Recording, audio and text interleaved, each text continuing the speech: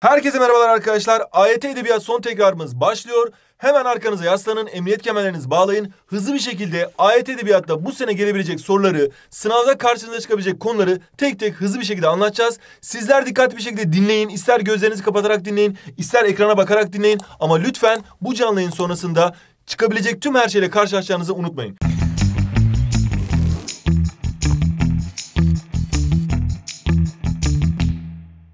İçeriye baktığımızda konularımız burada zaten belli. Hemen burada ilk başta anlatmaya bağlı metinler kolaydan başlayacağız. Tiyatro, öğretim metinler, söz anlatım türleri, şiir bilgisine bakacağız. Buradan mutlaka soru bekliyoruz. Edebi sanatlar mutlaka sorular bekliyoruz. İslamiyet öncesi edebiyat tarihine gireceğiz. En sonunda da eser özetleriyle bitireceğiz. Şimdi arkadaşlar 2010, 2011, 2012, 2013, 2014, 2015, 2016, 2017 sorularını çözmediyseniz mutlaka çözün. Buradaki soruların cevaplarına mutlaka bakın. Tanzimat'ı nasıl sormuşlar, Serhat Fünun'u sormuşlar, Milli Edebiyatı Cumhuriyet dönemi sanatçılarını Haldun Taner'i nasıl sormuşlar mutlaka görün. Biz buradaki soruları sizler için oransal olarak baktığımızda ve en sonunda da 2018 ve 2019 AYT'ye baktığımızda 2020 AYT tahminimiz şu şekilde. Sözcükte ve cümlede anlam ve parça anlamdan sorular sorduktan sonra 3 tane şiir bilgisi, bir tane söz sanatları, düz yazı türleri ve yine tiyatro, İslamiyet öncesi Türk Edebiyatı, halk edebiyatı ve divan edebiyatından yine 3 tane soru bekliyoruz. Bakın divan edebiyatını çok seviyor ÖSYM. Batı edebiyatı akımları mutlaka bir tane soracak. Tanzimat edebiyatından bir tane, Sertifinundan bir tane, Milli Edebiyat döneminden iki tane ve Cumhuriyet döneminden de dört tane soru bize yöneltecek. Dolayısıyla hemen yayınımıza başlayalım. Metinlere baktığımızda metinler sanat metinleri ve öğretici metinler olmak üzere iki kısma ayrılıyor. Sanat metinleri dediğimiz tabii ki coşku ve heyecanı dile getiren şiirler var. Şiiri tüm detaylarıyla öğreneceğiz. Bir de olay çevresinde oluşan metinler var. Anlatmaya bağlılar, göstermeye bağlılar. Bunların hepsinin detayına gireceğiz. Bir de öğretici metinlerimiz var. İsterseniz hemen detaylarına girelim. Anlatmaya bağlı metinlerde efsane gerçek olduğuna inanılıyor. Masaldan tek büyük farkı bu. Gerçek olduğuna inanılıyor. Masallar ise direkt ders verici, evrensel ve tamamen hayali. Fabıllarda hayvanlar konuşturuluyor. Destanlar ulusal biliyorsunuz. Büyük ulusanın destanları var. Bizim de tabii ki ulusumuz büyük olduğu için çok büyük destanlarımız var. Yine Aşıklar Saz ile anlattığı halk hikayeleri var. Mesneviler sınırsız beyitten oluşuyor. Manzum hikayeler şiir şeklindeki hikaye ve e, hikayeler kısa oluyor romanlara göre. Romanlar ise uzun oluyor hikayelere göre. Buradaki bazı anahtar kelimeler önemli. İlk olarak Yunan mitolojisinde efsaneleri görüyoruz. Masallar, kelle ve dimne deyince ilk aklımıza gelecek. Ezop'un Yunan e, döneminde Yunan Yunanlar döneminde yazdığı fabullar ve klasizm akımında La Fontaine'in Onları yeniden canlandırmasını görüyoruz. Destanlarda dünyada yine ilk Yunanların İlyada ve Odessa, Truva'ya gidiş ve Truva'dan dönüş anlattığını görüyoruz. Mesnevilere baktığımızda Şehname aynı şekilde e, ve Kutatku Bilik önemli meseleler. Bizim biliyorsunuz ilk mes e, mesnevimiz Kutatku Bilik. Mazlum hikayelerde Recaizade Mahmut Ekrem'in örneklerini göreceğiz ve hikayede Decameron dünyada ilk örneklerini verecek. E, ve romanda da Gargantua ve ilk modern roman e, Cervantes'in Don Quixote adlı eserini göreceğiz. Bu da Rabelaise'nin eseri arkadaşlar. E, Boccaccio'da Decameron yazıyor. Şimdi bize baktığımızda yaratılış efsanesini bilmemiz lazım. Eflatun Cem Güney'in, Nakit Tezel'in bakın yine Nakit Tezel'de önemli masallar derleyen bir insan ve Keloğlan var. Şeyhi'nin Harnamesi, öküz olmaya yeltenen bir eşeğin öyküsü çıktı sınavlarda defalarca. Orhan Veli fabulları şiirleştiriyor. Gülşehri'nin Mantukut Tayrı'da yine üniversite sınavlarına çıktı. Bakın bu turuncu kalemi seçmemizin sebebi şu. Biliyorsunuz ki ÖSYM'nin logosu turuncu renk. Eğer bu turuncu kalemle size bir yıldız koyduysam bu sınavda çıkmış demektir ve yine çıkabilir demektir. Alper Tunga ve Bozkurt Destanı gibi birçok destanımız var. Bunların detayına gireceğiz. Kerem ve Aslı Ferhat Eşir'in halk hikayeleri, Leyla ve Mecnun, işte Hüsnü Aşk, e, Yusuf ve Züleyha gibi farklı farklı mesneviler de var. Destanlar halk hikayelerine, halk hikayeleri mesneviye mesnevilerde romanlara dönüşecek. Destandan halk hikayesine geçişin ürünü olarak da arada bir Dede Korkut hikayeleri var. Onunla geçiş dönemine gelince göreceğiz. Mehmet Akif Ersoy ve Tevfik Fikret manzum hikayeler yazacak. Halil Ziya Uşaklıgil ve Mehmet Rauf mensur şiirler yazacak. Onu da yine Sertür'ün dönemine geldiğimizde detaylandıracağız. Letaif-i Rivayet bizde Ahmet Mithat Efendi'nin yazdığı ilk öyküler bu üniversite sınavında çıkmış arkadaşlar. Ve yine Taşuk Talat ve Finat, Fitnat da bizde ilk yerli hikaye. Tabii ki bize ilk e, pardon ilk yerli roman. Bize roman biliyorsunuz ki ilk olarak çeviri yoluyla Fenelon'un Telemak adlı eserini çeviren Yusuf Kamil Paşa sayesinde gelecek. Hemen geçiyoruz doğal destan ve yapma destana. Doğal destan çok basit arkadaşlar. Üç tane aşaması var. Bir olay yaşanıyor. Sonrası olay zenginleştirerek ağızdan ağza yayılıyor ve sonra da bir kişi onu derliyor. Yunanların İlyada Odessa, İranların Şehname, Finlerin Kalevala, Fransızların Chanson Sümerlerin Gılgamış, Almanların Nibelungen, İngilizlerin Beowulf, İspanyolların Lesit, Rusların Igor, Ramayana, Mahabharata, Hintlilerin, Japonların Shinto var. Shinto. Burada bizim destanlarımızda yine Alper Tunga, ve e, şu destanı, Oğuz Kağan destanı, Ergenekon destanı, Bozkurt ve Türeç destanlarımız var. Bunu İslamiyet'ten önceki Türk Edebiyatı'na geldiğimizde göstereceğiz. Yapma destanlar üniversite sınavında bir ara çok eski sınavlar çıkmış ama buranın da sorulma ihtimalinin zayıf olduğunu düşünüyoruz. Kurtarılmış Kudüs Tasso'nun, Çılgın Orlando Ariosto'nun, Dante'nin ilahi komedyası yine üniversite sınavında çıkmış. Aeneis e, destanı yine Virgil tarafından yazılıyor. Kaybolmuş Cennet Milton tarafından yazılıyor. Ve Çanakkale şehitlerine destanı Mehmet Akif Ersoy tarafından. Atatürk Kurtuluş Savaşı'nda Cahit Külebi tarafından. Kuvayi Milliye Destanı Nazım Hikmet tarafından, Sakarya Meydan Savaşı Ceyhun Atıf Kans tarafından, Maraş'ın ve Ökkeş'in destanı Gülten Akın tarafından yazılıyor. Yapma destanların yazarı belli, doğal destanların yazarı belli değil. Hikaye türlerine ve temsilcilerine baktığımızda bu yine olay hikayesi üniversite sınavında birkaç kez sorulmuş. Burada tabii ki de olaya dayalı serim, düğüm ve çözüm bölümleri var. E, merak ögesi ön planda genelde çarpıcı bir sonla bitiyor. Burada tabii ki üstadının Ömer Seyfettin olduğunu rahatlıkla söyleyebiliriz. Bunu biliyoruz zaten Mapasan tarzı hikaye. Durum hikayesine baktığımızda Çao tarzı günlük yaşamdan kesitler anlatılıyor. Giriş, gelişme, sonuç bölümleri yok. Yani serim, düğüm, çözüm bölümleri yok. Merak ögesi ikinci planda bir, bir bitmemişlik hissi var. Ve tabii ki Memduh Şevket Esendal yine ÖSYM tarafından sorulmuş. Sait Faik Abasyan'ın yine durum öyküsü olduğu sorulmuş. Vüsat Bener ve Oktay Akbal'a da dikkat etmemiz lazım. Küçürek minimal hikaye. Bakın bu üniversitede çıkmadı ama bu kırmızı koyduğum, kırmızı yıldız koyduğum şeylerde çıkmamış ama çıkarsa şaşırmayın dikkatli olun demek. Küçürek hikayenin temel özelliği kısa ve yoğun olması, az kelimeli yoğun anlamlar aktarılıyor ve yalnızca bir anın saptaması var. Böyle asla ve asla bir ders vermeye çalışmıyor. Yalnızca bir anın saptaması olduğuna dikkat edin. Bunu LGS'de öğrencilere bir şekilde örnek sorularda gösterdiler. Sınavlar arası geçiş olur da sorarlarsa diye lütfen dikkat edin. Küçük hikaye bir anın saptaması böyle bir ders veren hmm, bunu anladım diyen bir hikaye değil. Buna dikkat edin şaşırtıcı etkili bir sonla bitiyor. Yine Ferit Edgü e, ve Haydar Ergülen, Vüsat Bener yine burada da öykü, e, bu tarz öykülerin örneğini veriyor. Milletin Bakanlığı kazanımlarına var. Şimdi neden Milletin Bakanlığı kazanımlarına dikkat ediyoruz?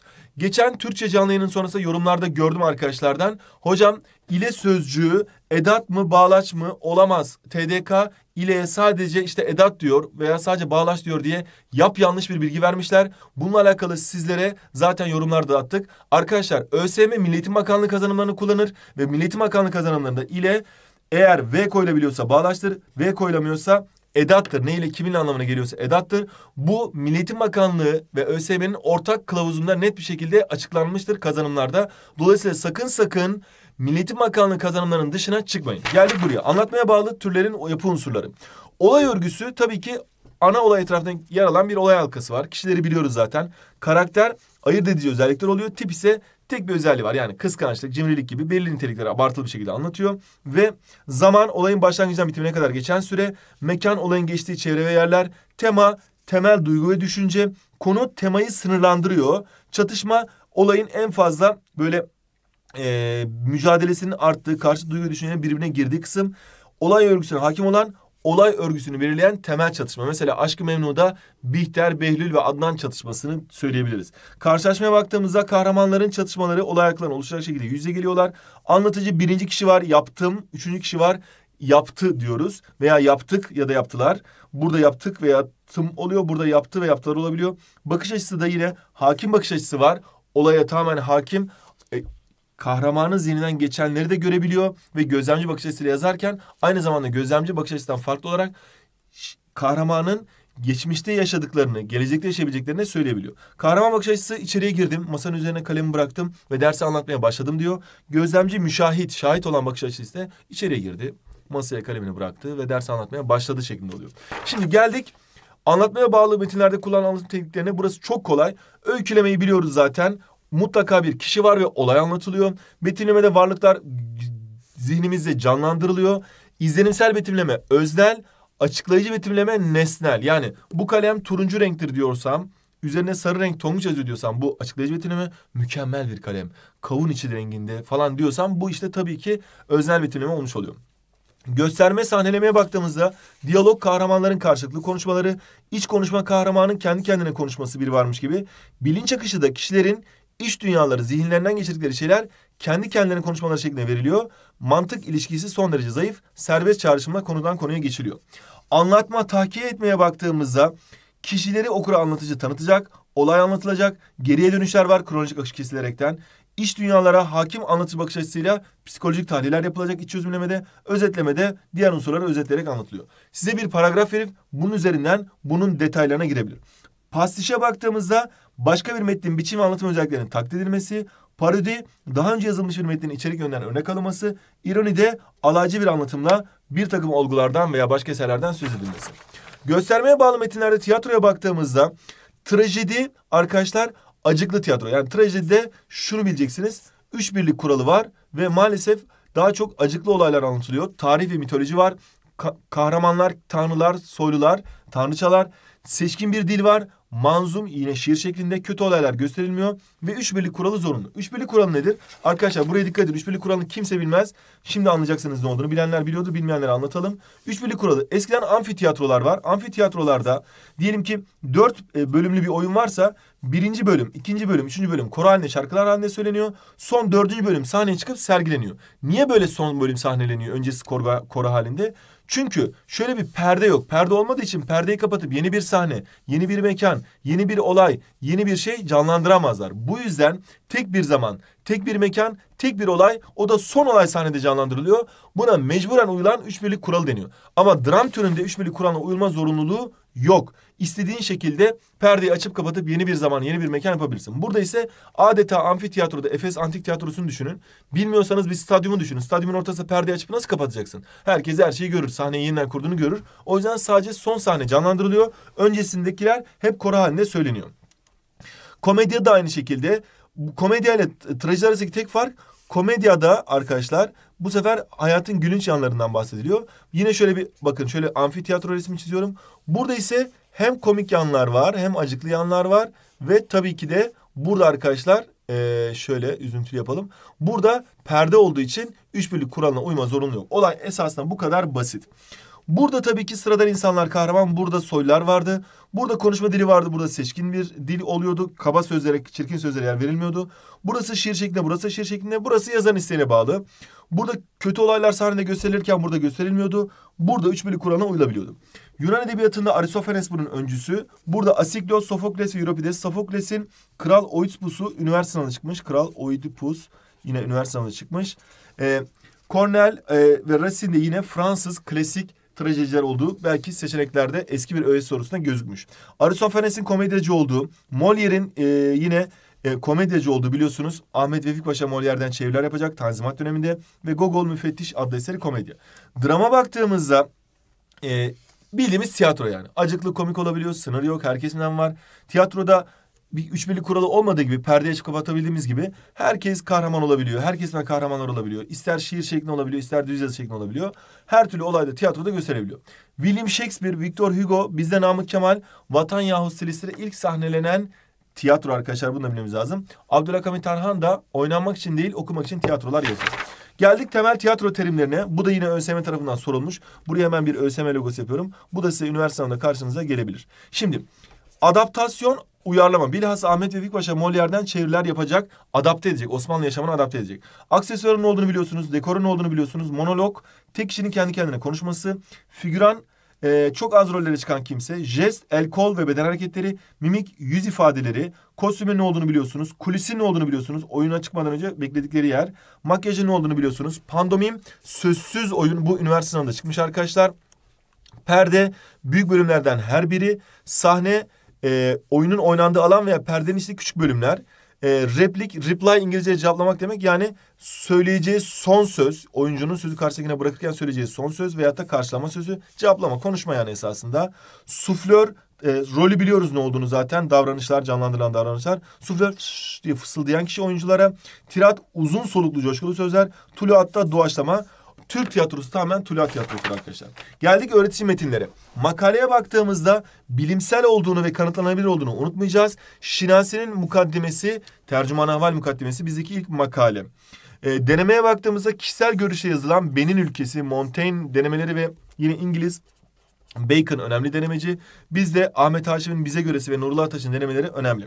Sohbete baktığımızda konuşma havasında düşünce aktarımız samimi bir soru cevap var ve Yine Ahmet Yusuf Efendi'nin ve Ahmet Rasim'in ilk yetkin örnekleri verdiğini görüyoruz. Bilhassa Ahmet Rasim'in.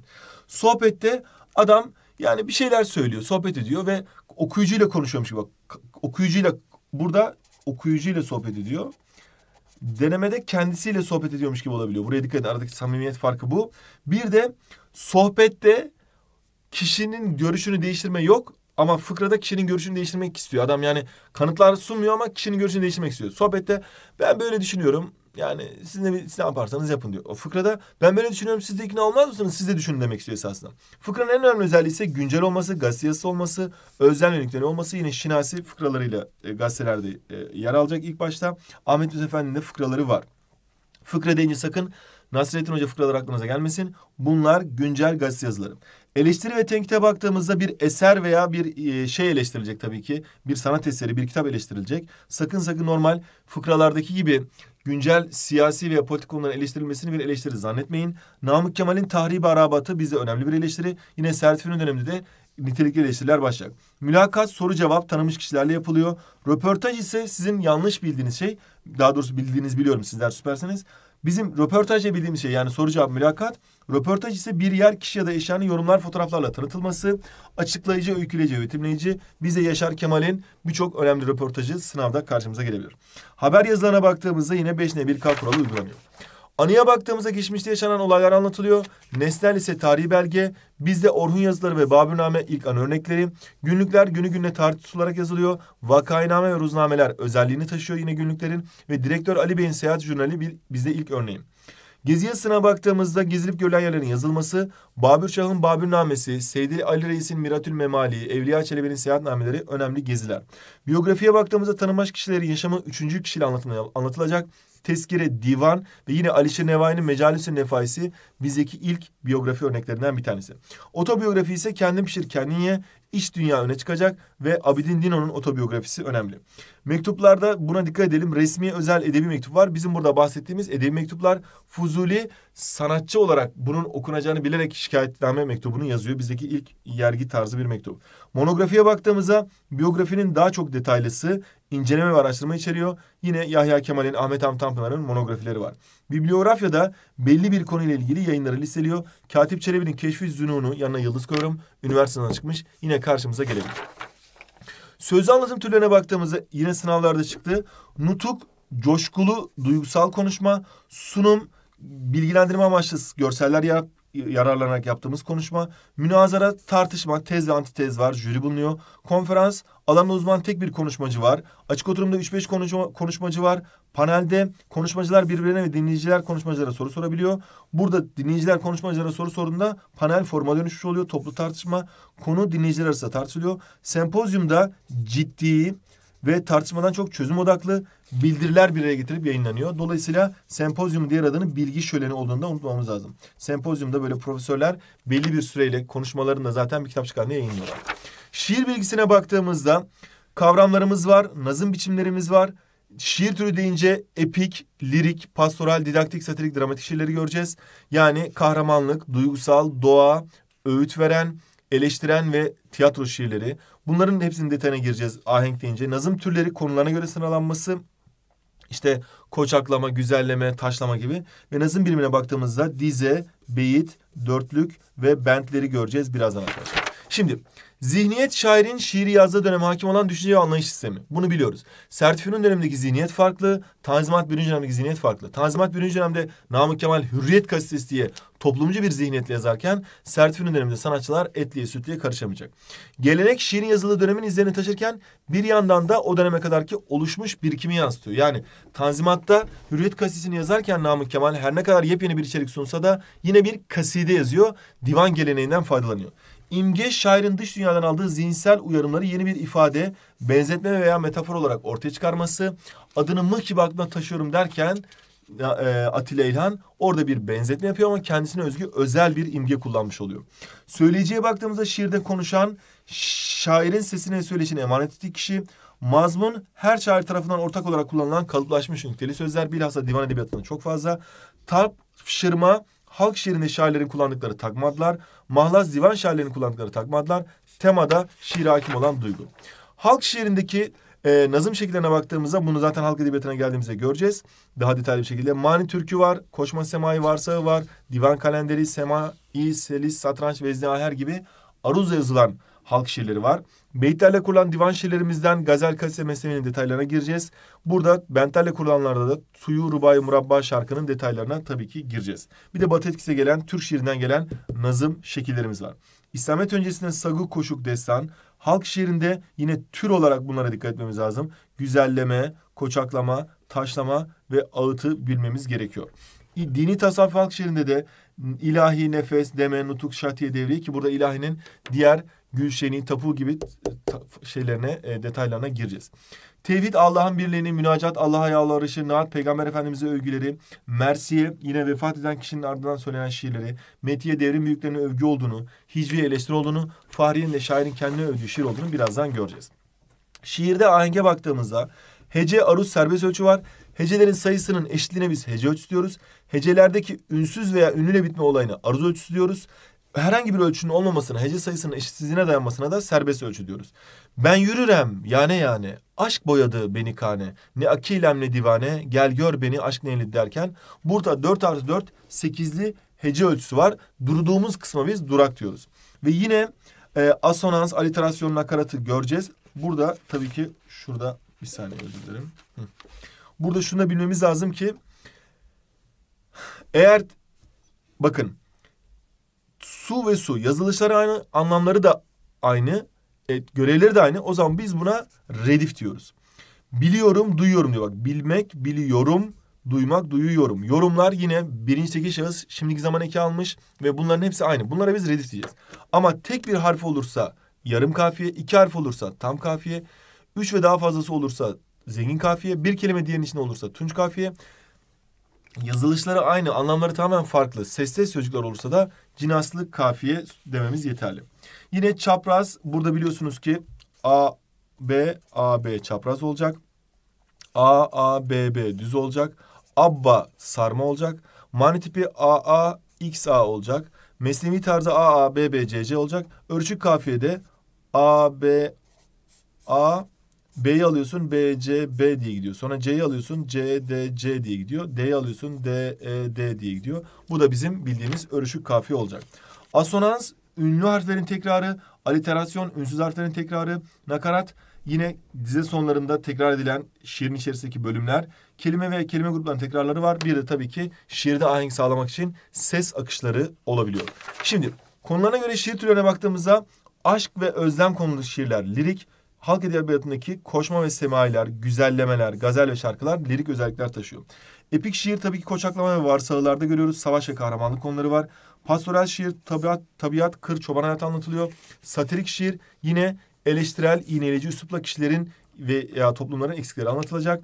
Bizde e, divan edebiyatında hiciv, halk şiirinde taşlamanın satirik şiir olduğunu bileceğiz.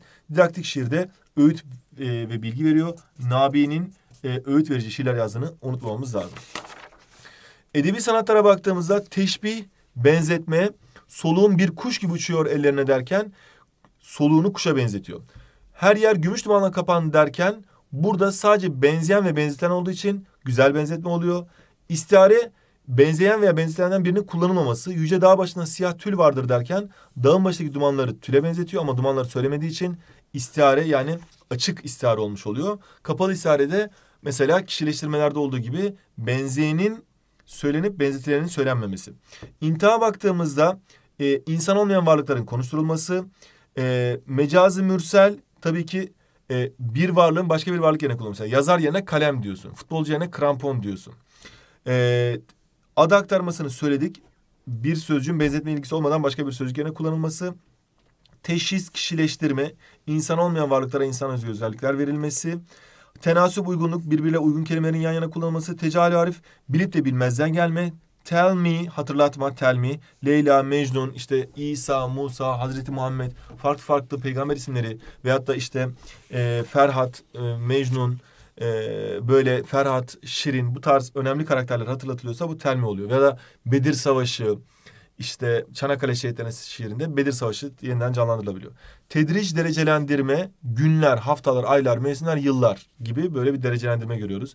Hüsnü talil güzel nedene bağlama, bilinen bir şeyi zaten güzel bir nedene bağlıyorsun. Gök masmavi bu sabah güzel şeyler düşünelim diye. E zaten öyle ki hava açık çünkü. Tevriye iki anlamlılık, baki kalan bu kubbede hoş bir sadaymış. Baki derken hem kendini kastediyor hem de ebedi kalan demek istiyor. İşte İstiklal Marşı'ndaki ulusun korkma nasıl böyle bir imanı buhar ifadesi yine bir e, tevri olmuş oluyor. Kinaye değinmece yine parmağım ağzında kaldı masumluk akıyor düzünden derken parmağı gerçekten ağzında kalıyor ama burada mecaz bir anlam da var. Lefüneşir açma yayma gönlümde ateştin gözümde yaştın ne diye tutuştun ne diye taştın. Ateş ve tutuş yaş ve taş birbiriyle tabii ki lefüneşir oluyor yani yan yana alt alta denk geliyorlar. Bakın burada tenasipte uygun kelimeler bir araya kullanılıyor ama lefi neşirde hem uygun kelimeler hem de alt alta gelmiş oluyor. İstifam soru sorma. Kim bu cennet vatanı uğruna olmaz ki feda derken Mehmet Akif Ersoy bir soru soruyor mübalağa abartma, tariz iğneleme laf sokma, nida hey ey gibi seslenme, irsali mesel de özlü sözle anlatma anlamına geliyor arkadaşlar. Evet Türk Edebiyatı'nın dönemlerine geldik. İslamiyet öncesi Türk Edebiyatı'nda sözlü ve yazılı döneme bakacağız. İslamiyet etkisiyle gelişen Türk Edebiyatı'na baktığımızda geçiş divan halk edebiyatına bakacağız. Ve Batı etkisiyle gelişen Türk Edebiyatı'da da Tanzimat, Sertifürün, Fecriati, Milli Edebiyat ve Cumhuriyet dönemini güzel bir şekilde sınavda çıkacak şekilde öğreneceğiz. Şimdi dönem karşılaştırmasına baktığımızda İslamiyet öncesi dil en sade, geçiş döneminde eski Türkçe ve Arapça var dini terimlerden dolayı. Halk edebiyatında sade bir dil görüyoruz. Divan edebiyatında Osmanlıca dediğimiz Arapça, Farsça ve Türkçe var. Ölçü olarak hep hecemiz devam ediyor. Hece, hece, hece ama divan edebiyatında aruz daha fazla ön plana çıkacak. Tabi milli edebiyat dönemine kadar da hep aruz devam edecek. Milli edebiyat döneminde yeniden heceye geri dönüyoruz. Burada İslamiyet öncesi dörtlük var. Geçiş döneminde aynı hece aruz, eski Türkçe, Arapça, dörtlük beyit devam ediyor. Bir ikilemde yani geçiş dönemi. Halk edebiyatında dörtlük var. Divan edebiyatında beyit ve bentlerin çok yaygın kullanıldığını görüyoruz. İslamiyet öncesinde nazım biçimi sagu koşu göreceğiz. Geçiş döneminde mesneviler göreceğiz. Aynı zamanda hikmetler göreceğiz. İşte mesneviden kastımız kutat kubilik biliyorsunuz ilk mesnevi. Halk edebiyatta koşmalar, semailer, divan edebiyatta da gazeller, kasiteler, mesnevileri göreceğiz. Burada halk için bir anlayış var. Burada geçiş döneminde didaktik öğüt vermeye çalışacaklar bize. Ee, halk edebiyatta yine halk için, divan edebiyatı ise toplumdan kopuk, sanat için sanat yapılacak. Konular daha çok aşk, kahramanlık, İslamiyet. Burada her tür konu var. Burada ise soyut tasavvufi ve aşk acısı. Bu da ilahi aşk olacak. Bunları göreceğiz. Şiirde yine devam ettiğimizde Tanzimat döneminde dilde sadeleşme amaçlanacak ama sonrasında Tanzimat ikinci dönemde terk edilecek. Sert Fünun'un Fecrati'nin dili apağır. Dediğimiz gibi Milli Edebiyat dönemine gelince pırıl pırıl yepyeni bir yeni lisan doğacak. Ölçü gördüğünüz gibi milli edebiyata kadar hep hece ölçüsü. Nazım birimleri beyit, dizek karışık bir şekilde devam ediyor. Yine e, şeye kadar nedir onun sertifürüne kadar eski nazım biçimleri kullanılırken sertifüründen sonra serbest müstezat sonra terzeli materyale gibi yeni nazım biçimleri Fecrati'de serbest müstezatı görüyoruz. Milli edebiyata geldiğimizde yeniden halk edebiyatı nazım biçimleri eskisine dönecek. Hece ölçüsü döndüğü gibi. Anlayışa baktığımızda toplum için sanat, sanat için sanat, sanat için sanat diyoruz. Neden? Bakın burada toplum için sanat var. Sonra ta Milli Edebiyat'a kadar bu dönemde baskı nedeniyle hep sanatçılar sanat için sanat yapmak zorunda kalacak. Burada bakın vatan hak hukuk yine Tanzimat birinci dönem toplum için sanatın özelliği. Ama Milli Edebiyat'a kadar hep böyle düş, gerçek çatışması, karanlık, ölüm, yalnızlık, aşk, böcek, çiçek böyle bireysel konuları görüyoruz. Milli Edebiyat'la birlikte yeniden Türkçülük ve kahramanlığın çıktığını görüyoruz. Burada Tanzimat birinci dönemde romantizm var ve klasisizm olacak da burası.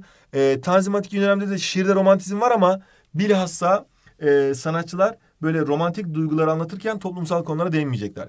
Parnasizm şiirde gerçekçilik, sembolizm şiirde kapalılık ve yine Fecraat'te sembolizm Ahmet Haşim tarafından görülüyor. Türkçülük akımı yine tabii ki milli edebiyatta en önemli akım. Tabii romancılar e, eserlerini yazarken yani şairler şiirlerini yazarken buradaki akımlardan etkilenecekler ama temel akım şiir akımı olarak değil. insanların etkilendiği akım olarak Türkçülüğü görüyoruz.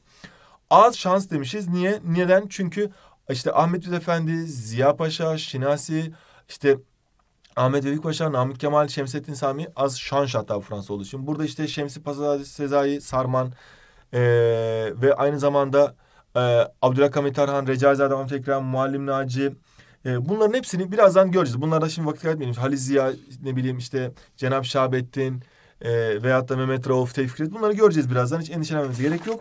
Gelin hemen başlayalım. Şimdi İslamiyet'in kabulünden önceki Türk Edebiyatı'na baktığımızda burada Koşuk, Sagu, Sav ve Destan'ı görüyoruz. Hemen bunların e, sözlü olduğunu, bunların da yazılı dönemin eserleri olduğunu unutmayacağız. Ve daha çok da sözlü dönem var. Yazıya biz 8. yüzyıldan sonra Orhun kitabeleriyle bir şekilde giriş yapacağız. Şimdi koşuğa baktığımızda bildiğimiz halk edebiyatındaki koşma, divan edebiyatındaki gazele benziyor arkadaşlar. Doğa, aşk, kahramanlık gibi konular var. Ve tabii ki uyak düzeni AAB, CCCB, DDDB şeklinde Kopuz adı verilen saz eşliğinde söyleniliyor. Böyle dörtlükler halinde yazılmış bir şiir gördüğünüz zaman bu koşuk diyeceksiniz. Tamam. Sagu yu adı verilen törenlerde söyleniyor. Uyak düzeni koşuktaki gibi halk edebiyattaki karşılığı ağıt, divan edebiyattaki karşılığı ise mersiye. Buraya dikkat edin sakın mevlüt demeyin. Bu da üniversite sınavında çıkmış. Buraya bir yıldız koyuyorum. Divan Lügat Türk'te bulunan Alper Tunga Sagusu en eski örneği. Alper Tunga öldü mü? Issız acun kaldı mı? Ödlek öçün aldı mı? Emdi yürek yırtılır. Ee, atasözüdür. Divan Edebiyatı'da tabii ki burada da neydi? Darbu Mesel adını almıştı. Duru, Durubu Emsaliye vardı. Darbu Mesel adını alacak e, savlarda atasözü. Divan Lügat Türk'ten biz birçok atasözü örneği aldığımızda yine üniversite sınavında soruldu. Destanlarımıza baktığımızda İslamiyet öncesinde Altay Türklerinin yaratılış destanı var. Alper Tunga bir komutan, şu bir komutan. Alper Tunga İranlarla mücadele edecek. Hatta Afrasya diyecekler Şehname Destanı'nda. Şu ise İskender'le mücadele edecek. Oğuz Kağan Hun hükümdarı metaniyatını anlatıyor. Atilla Avrupa, Hun, Avrupa Hunların hükümdarı. Bozkurt Kurttan Türeşimiz, Ergenekon Demir Dağı'nı, maden eritişimiz, Türeş Destanı yine Kurttan Türeşimiz, Göç Destanı, kutsal taşı verdiğimiz için başımıza sıkıntılar gelmesi ve Mani dininin kabulü destanları var. Bunlar yine eski ÖSYM sorularına çıkıyordu ama günümüzde fazla sorulmuyor. Satuk Burahan İslamiyet sonrasında Karahanlar döneminde Manas dünyanın en uzun destanı Ermanas yine bir komutan ismi. Cengiz Han destanı, Timur, Edige destanı, Tatar Kırım destanları. Battal Gazi, Battalname burası önemli. E, Danışment Gazi, Danışment ama bu gerçeğe yakınlığı var. Köroğlu destanı görüyoruz. Bizim destanlarımızdaki motifler de üniversite sınavlarına çıktı. Kurt, at, ağaç, ışık, mağara, yada taşı, dağ, demir, kutsal su, rüya, aslan, geyik, hızır, kırklar, ok ve yay. Kırk rakamı çok önemli bizde. Burası Türk destanlarında kullanılan motifler. Ee, yazılı devirin eserlerine baktığımızda Göktürk dönemi Orhun yazılarında Vezir Tonyuk anıtını görüyoruz. Çin'e karşı girişilen bağımsızlık mücadelesi ve hayatı anlatılıyor. Burada kendisi tarafından yazılıp diktirilmiş. Burası önemli. Üç tane anıt var. Kültigin anıtı yine Bilge Kağan tarafından diktiriliyor. Bilge Kağan anıtı da kendisi yine oğlu tarafından diktirilecek. Bu yanı, bu anıtları Yollu Tekin yazıyor. Bunların genel özelliğine baktığımızda ilk yazılı ürünler, ilk söylem örneği Göktürk alfabesiyle yazılıyor. Türk adı ilk defa kullanılıyor ve edebi eser niteliği taşıyor bunlar. Göktürk Devleti'nin kuruluşunu anlatıyor. Artık geçiş dönemine geliyoruz. Burada tabii şu kısmı da e, hızlıca geçmeyelim. Şurası önemli. Uygur dönemine ait dini eserler yani şu sayfa. Bunlar dini içerikli. ırk, bitik, fal kitabı, sekiz yükmek, sekiz yığın, altın yaruk, altın ışık ve kalyanamkara ve papamkara. Bunlar dini içerikli. Kağıda yazılmış Uygur metinleri. Bunlar ise taşa yazılmış Orhun harfleri. Geldik geçiş dönemi eserlerine. Geçiş döneminde biliyorsunuz hem aruz hem hece vardı. Hem İslamiyet öncesindeki tavırlar, kelimeler hem İslamiyet etkisinde Arapça, Farsça terimler vardı. Ee, nazım birim olarak hem beyikte hem dörtlüğü görebiliyorduk. Kutat Kubili'ye baktığımızda Yusuf Asacip tarafından 11. yüzyılda yazılıyor. Dünya ve ahiret saadeti için tutulması gereken yollar anlatılacak. Didaktik, insan ve devletin karşılıklı görevleri konu ediliyor. Hem dörtlük hem beyitler var. Alegorik söyleyişi var. İlk eser İslamiyet etkilerinin görüldüğü ilk eser geç döneminde olduğu gibi aruz ölçüsünün kullanıldığı ilk eser, mesleği nazım biçiminin kullanıldığı ilk eser, ilk seyahatname, ilk nasihatname, ilk siyasetname, ilk nasihatname ve ilk pendame. Burada yine bir yıldız koymak istiyorum. Üniversite sınavında bu 3-4 farklı yılda sorulmuş. Bu kısımda sorulmuş. Yani hangisi Kutatku birlikte temsil edilen değerlerden biri değildir demiş. A Küntok'du, A B Ait oldu, C Ögdülmüş, D Ödgurmuş, E de Alpertunga demiş. Kolay bir soruymuş esasında çalışanlar için. Ama biz bu karakterlerin adaleti, mutluluğu, akıl ve anlayışı, akıbeti, kanaati sembolik yani alegorik bir şekilde temsil ettiğini bilmemiz lazım. Divan-ı Lügat-ı Türkiye baktığımızda Kaşgarlı Mahmut tarafından 11. yüzyılda yazılıyor. Türkçe kelimelerin Arapça karşılıkları veriyor. Araplara Türkçe öğretmek için yazılmış. Türk boylarının dilleri tanıtılıyor. Devrinin dili ve edebiyatını anlatan bir kültür hazinesi. İçerisinde İslamiyet öncesi koşuk, sagu, sav, destan örnekleri var. Ee, eserle ilgili ilk sözlük olduğunu, ilk bilgisi kitabı olduğunu, ilk edebiyat antolojisi ve Türk Dünyası Ansiklopedisi olduğunu bilmemiz lazım. Türk şiirinin ilk örneklerinden parçalar içerdiğini bilmemiz lazım. Yine Edip Ahmet Yükleki tarafından 12. yüzyılda kaleme alınan, bakın burası önemli, Atabetül Akay önemli. Burada iyi ve kötü huylar anlatılacak, bilginin faydası, cehaletin zararları, cömertlik, cimrilik gibi kavramlardan bahsedecek. Halka yararlı amacı var, yararlı olma amacı var. Dini, ahlaki, didaktik bir eser. Topluma İslam inancı telkin edilecek. Bazı bölümleri beyitlerle yazılıyor ve Arapça, Farsça e, birçok kelimede kullanılıyor. Divan-ı Hikmet'e baktığımızda yine 12. yüzyılda Ahmet İsevi tarafından yazılıyor. Dervişlik adabını anlatıyor. Ahmet İsevi tasavvuf edebiyatının kurucusu e, Yesevi'nin öğrenci tarafından kitap haline getirilecek ve Allah aşkı ve peygamber sevgisi var. Didaktik hem dörtlük hem beyt olduğunu dolayısıyla hem hece hem oruz olduğunu görebiliyoruz. Dini tasavvuf halk edebiyatının ilk örneği Pir Sultan Abdallar, Hacı Bektaş Veliler, Yunus Emre'ler hep Ahmet Yesevi'nin öğrencileri. Dede Korkut hikayelerine baktığımızda anonim hikayeler burada 9 ve 11. yüzyılda oluşturulduğunu bilmemiz lazım. Şimdi destandan hikayeye geçişin ilk ürünü olduğu ÖSYM tarafından sorulmuş. Oğuzhan hayatını ve komşularıyla olan mücadelelerini anlattığı sorulmuş. Ee, olağanüstü varlıklar var ve gerçekçilik de var. Konuşmalar, olaylar ve tasvirler düz yazıyla, karşılıklı konuşmalar şiir şeklinde anlatılıyor.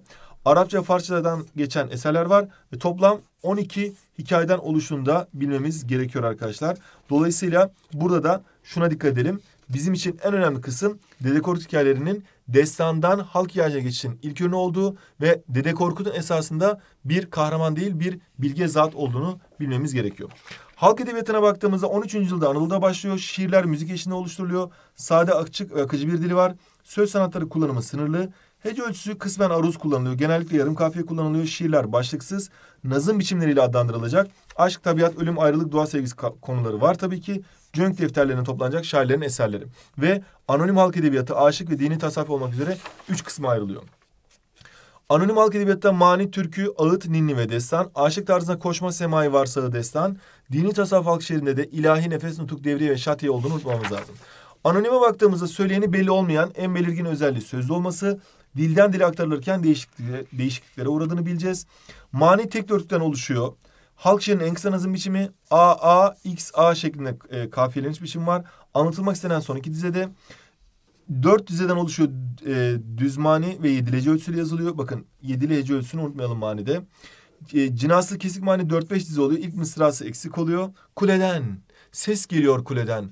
O kaş o göz değil mi? Beni sana kuleden derken o kuleden ilk dize eksik oluyor. Yedikli mani dört veya beşten fazla dizeden oluşuyor. Yedili hece ölçüsü kullanılıyor gene. Müz türkü müzik eşliğinde yani belli bir ezgiyle söylenecek. Bent ve kavuştak nakarat bağlama bölümleri var. Bent asıl sözlerin yer aldığı bölüm. Eğer söyleni belli ise tabii ki anonim değil. E, aşık edebiyatına girmiş olacak. Ninni'nin ne olduğunu biliyoruz. Ağıt ölen kişilerin ardından söyleniyor. İslamiyet'ten önce Sagu divan edebiyatında Mersi olduğu üniversite sınavında sorulmuş. Tekerlemede yine anlamsız ses veya kelimelerin tekrarlanması. Halk hikayelerine baktığımızda olağanüstülükler artık azalmaya başlıyor destanlardaki gibi. Gerçek ve ger gerçeğe daha yakın. Şiir düz yazı iç içe. Olaylar düz yazıyla, duygular şiirle anlatılacak. Masallarda olduğu gibi kabulaşmış ifadeler var. Efsane, menkıbe, fıkra, dualar görüyoruz. Cenk Name'nin yanına yıldız koymak istiyorum. Milli Bakanlığı kazanımlarına çok vurgulanıyor. ÖSYM tarafından sorulmadı gelebilir. Hazreti Ali ve onun etrafında gelişen halk hikayeleri, kahramanlık konusu işleniyor. Olağanüstü ögeler var. Halk hikayelerine yine giriş, gelişme, asıl konu, sonuç, dua ve efsane gibi bölümler var. Fasıl asıl konu onu bilmemiz lazım. Aşk Tahir ile Zühre, Arzu ile Kamber aşk garip hikayesi var. Kahramanlık Köroğlu hikayesi mesela. Yine aşk kahramanlıkta Kirmanşah Yaralı Mahmut'u örnek gösterebiliriz. Kahramanlar bade içerek resme bakarak ilk görüşe aşık olarak aynı evde büyüyen kahramanlar kardeş olmaktan öğrenci aşık olaraktan bir şekilde aşık oluyorlar. Yani artık bir sanatçı olmuş oluyorlar. Türk tiyatrosuna baktığımızda geleneksel Türk tiyatrosunda Karagöz, orta oyunu, meddah, köy serilik oyunlarını görüyoruz. Bir de kukla var tabii ki. Modern Türk tiyatrosunda trajedi, komedi, dram ve melodramı göreceğiz. Şimdi Karagöz orta oyuna baktığımızda Karagöz'de yazılı bir metin yok, burada da yazılı bir metin yok. Karagöz doğaçlama, tuliat, bu da doğaçlama. Burada da yanlış anlama, burada da yanlış anlama. Burada da şive ağız taklidi, burada da şive ağız taklidi. Burada da gülmece unsuru, burada da gülmece unsuru. Burada da müzik var, burada da müzik var. Bak burada da gülmece... Bunu niye anlatıyorsunuz hocam? İkisi ortak. Aradaki tek fark ne? Bütün tipler tek kişi tarafından böyle bir e, tasvir denilen figürlerle canlandırılıyor. Burada ise her bir tipi ayrı bir oyuncu canlandırılıyor. Yani Karagöz ve Hacivat var. Burada da Kavuklu ve Pişiker var. Karagöz ve Hacivat bir gölge oyunu. Kavuklu ve Pişiker ise bildiğin bir insan olarak sahneye çıkıyorlar. Kişiler tasvir denen figürlerden oluşuyor. Burada kişiler canlı oyuncular. Bu, bu bir perdede sergileniyor. Bu ise bir meydanda oynanıyor. Burayı bilmemiz lazım. Şimdi yine Karagöz bölümünde de Karagöz'ün bölümlerinde giriş, muhavere, fasıl, bitiş var. Burada giriş, muhavere, fasıl, bitiş var. Burada yine muhavere bölümünde daha doğrusu giriş bölümünde of, hay, hak diyerek Karagöz perdeye çıkacak. Muhaverede Hacivat ile Karagöz sohbet edecek. Birbirlerini yanlış anlamaya dayalı konuşmalar geçecek. Güldürü unsuru ağır basacak. Fasıl, asıl olay yaşanıyor. Bitişte de yıktın perdeyi eyledin viran. Varayım sahibine haber vereyim hemen diyerekten bitiş yapacak. Orta oyuna baktığımızda burada zurna pişeker havasıyla gelecek. Kavuklu ve Cüce konuşarak sahneye gelecekler. Muhavere yine konuşmaların olduğu bölüm. Fasıl asıl konu olduğu bölüm. Ve Karagöz oyunuyla ortak. Pişeker'de Kavuklu'ya son bir konuşma yapıp her ne kadar sürçülisan ettikse affola diye bitirecekler. Karagöz ve orta oyunun kişilerine baktığımızda Karagöz temel kişi. Duyduklarına ters anlamlar yüklüyor. Eğitimsiz ama dürüst açık sözlü bir tip. Burada da kavuklu tabii ki orta oyununda. Burada Hacivat var. İkinci en önemli tip. Öğrenim görmüş, medrese diliyle konuşan biri. Uyanık çıkarcı işten pazarlık bir tip. Yani Karagöz, Hacivat. Kavuklu, Pi Şeker. Kemal Sunal, Şener Şen. Mantığı K ile gidebiliriz demiştik. Her ikisinde yine Çelebi, malı mülkü olan zengin, zenne kadın tipi, tiryaki, uyuklamaya başlayan tip, bebe ruhi, cüce, diğer tiplerde Tuzsuz Deli Bekir, Kabadayı, Zeybek, Efe, Külhan Beyli, Türk, Yahudi, Frank, Balama gibi tiplerin olduğunu görüyoruz. Medda tek kişilik tiyatro. Medda bir öykü başından sona kadar canlandırılıyor, canlandırıyor. Kişilere ağız özelliklerine göre taklit ediyor. Elinde mendil ve aynı zamanda sopası var. Sopayı bazen at tüfek olarak kullanıyor. Mendili bazen eşarp yapıyor, bazen işte bayrak yapıyor. Köy seyirlik oyunları da yine düğünlerde, bayramlarda yılın belirli günlerinde oynanıyor. Ve tabii ki özel bir sahnesi, kostümleri yok. Oyuncu ve seyirci kadrosu köylülerin ta kendisi. Kukla da hareketli yerleri iplikle sanatçının parmaklarına bağlanarak oynanan oyun. İp, el, araba kuklası, iskemle kuklası gibi özellikleri var. İbiş ve ihtiyar olmak üzere iki baş kişisi var. Aşık tarzına geldiğimizde, şimdi anonim bitirdik. Aşık tarzına geldiğimizde şairler Ozan Kan Baksı yerine aşık adını alacaklar. İslamiyet öncesinde Ozan Kan Baksı adını alıyorlardı. Artık aşık adını alıyorlar. Burada ilk adım usta aşık araması. ikinci adımda ustanın aşıklığı öğrenip malas edilmesi yani tapşırma alması. Ve üçüncü adımda da bağda içerek ya da rüya görerek aşıklık makamına ulaşması. Koşma sınavlarda defalarca sorulmuş yine sorulacak arkadaşlar. Bu sene sorarlarsa yine size koşmayı sorarlar. 11 lece ölçüsü yazılıyor. Dörtlükler halinde 3 ya da 8 dörtlükten oluşuyor. En yaygın yazım şekli aşk konusu güzelleme, kahramanlık konusu koçaklama, eleştiri olursa taşlama, e, eğer vefat eden bir kişinin ardından yazılıysa ağıt olduğunu bileceğiz. Bunlar koşmanın türleri. Semai 8 lece ölçüsüyle yazılıyor. Bakın S, semai, S 8. 3-5-4'ten oluşuyor. Özel bir ezgisi var. Az sözde çok şey anlatmak isteniyor. Varsağı da 8'de yazılıyor. Aradaki tek bir fark Brebehey gibi e, seslenişler var. Yiğitçe bir söyleyiş var. Aynı zamanda kaderden, tarihten şikayet konusu işleniyor varsağılarda. Destanlara baktığımızda 11 lece ölçüsüyle yazılıyor. Dörtlükler sınırsız. Toplumda derin etki bırakan olaylar özel bir ezgiyle söyleniyor. Dini tasavvufi Türkçe'ne baktığımızda Kurucusu Ahmet Yesevi'yi hatırlarsanız Divan Hikmeti yazmıştı. Kısmen Arapça ve Farsça hemece maruz ölçüsünü görüyoruz. İlahiler 7 ve 8. ölçüsüyle söyleniyor. İçerisinde özel bir ezgi var. Divanda tevhid ve münacat ile aynı. En önemli temsilcisi Yunus Emre. Bakın buraya bir yıldız koyuyorum. Bir kez daha üniversite sınavına gelebileceği için buraya dikkat etmenizi istiyorum. Mevleviler ilahiye ayin diyorlar. Yeseviler hikmet diyorlar. Bektaşiler nefes, Aleviler deme, Gülşeniler tapu, Halvetiler durak diyor. Bunu bilmeniz lazım. Bunu sordular bir kez daha sorabilirler. Nefese baktığımızda 7'li 8'li 11 lece ölçüsüyle yazılıyor. Alevi Bektaş şairleri tarafından söylenen ve Kaygus Aptal'ın temsilcisi olduğu tür. Devriye Allah'tan geldik Allah'a döneceğimizi işliyor. Devir kuramı. Şatiye'de alaycı ve yenileyici biçimde yazmak var. Nutuk da tarikata yeni giren insanlar için tarikat adabını öğretiyor. Devam ediyoruz. Yunus Emre'ye baktığımızda artık halk edebiyatının sanatçılarına bakıyoruz. Yunus Emre'ye baktığımızda dini tasavvufi konuları işleyecek. Selim Mümteni sanatını çok güzel yapıyor. Hümanizmin öncüsü insan sevgisiyle bilinen birisi. Risalet-i Nüsiye adlı eseri üniversiteden çıkmış. Yunus Emre Türk Edebiyatı'nın en büyüğüdür arkadaşlar. Hacı Bayram Veli Bayramiye tarikatını kuruyor. Hece varuz ölçüsünü kullanacak. Hacı Bektaşi Veli'nin makalat eseri çıkmış yine sorulabilir. Bektaşi tarikatının kurucu, kurucusu. Kaygus Abdal'ın Budalanamesi ve yine şatiyeleriyle ünlü olduğunu sorabilirler bir kez daha. Pir Sultan Abdal nefes türündeki şiirleriyle biliniyor. Dini ve toplumsal konular var. Sadece Hece ölçüsü olduğu sorulabilir. Bu yani seçenekler çıkmış esasında Pir Sultan Abdal. O yüzden buna da turuncu yıldız koyabiliriz. Erzurumlu İbrahim Hakkı'nın marifetnamesinde bilmenizi istiyoruz. Bu da yine seçeneklerde gözükür. Köroğlu'na baktığımızda tüfek icat oldu, mertlik bozuldu diyor. Hece ölçüsüyle yazacak kocaklama şairi. Ve bak Köroğlu, kahramanca böyle isminden belli. Köroğlu yani. Babasını e, kör yapmışlar. O yüzden de babasının intikamını almaya çalışıyor Bolu Bey'den. Dadaloğlu, bu da yine koçaklama şairi bak. Belli. Sadece hece ölçüsü var, sadece hece ölçüsü var. Ama Karaca olan böyle şey e, daha çok koçaklamadan ziyade güzelleme şiirleri yazacak. Güzelleme, koçaklama demeyelim de buna. Güzelleme diyelim. Daha çok güzellemeleriyle biliniyor. Ve tabii ki Hece ölçüsüyle yazacak aşk, doğa, savaş da var.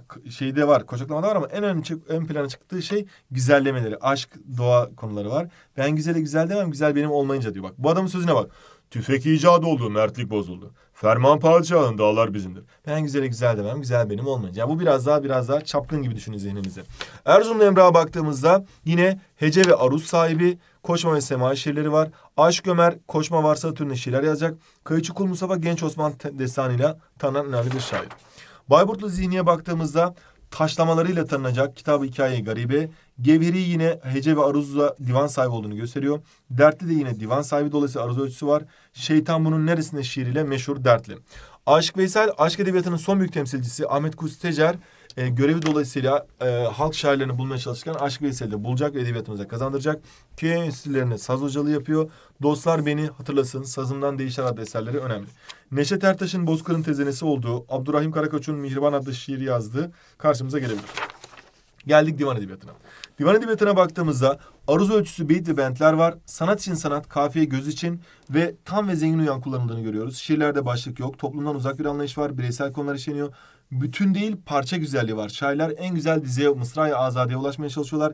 Klişe sözler, mazmunlar sıkça yer alıyor. Aşk, doğa, din, tasavvuf, ölüm, şarap konuları var. Nazire bir şiiri başka bir şairin aynı ölçü ve kafiyeyi kullanarak yazması geleneği var. Bazen alay amaçlı tehziller yani nazirelerde yapılabiliyor. Divan edebiyatının kaynaklarına baktığımızda Kur'an'dan, hadisten, peygamber hikayelerinden, tasavvuftan beslenecek tabii ki farklı farklı yerlerden. Divan nesrinde konu işlenişi önemli. Arapça, Farsça tanımlamalar ağır bir süslü dil göreceğiz yine. Noktalama işaretleri yok. Zaten Tanzimat döneminde Şinasi ilk defa noktalama işaretlerini kullanacak. Sade nesir, orta nesir ve süslü nesir olmak üzere üç kısma ayrılıyor.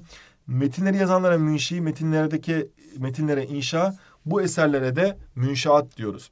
Divan şiirindeki akımlara baktığımızda Türk basit akım var. Süslü dille yazmaya karşı e, Tatavlalı Mahremi, Aydınlı Visali, Edineli Nazmi önemli örnekleri.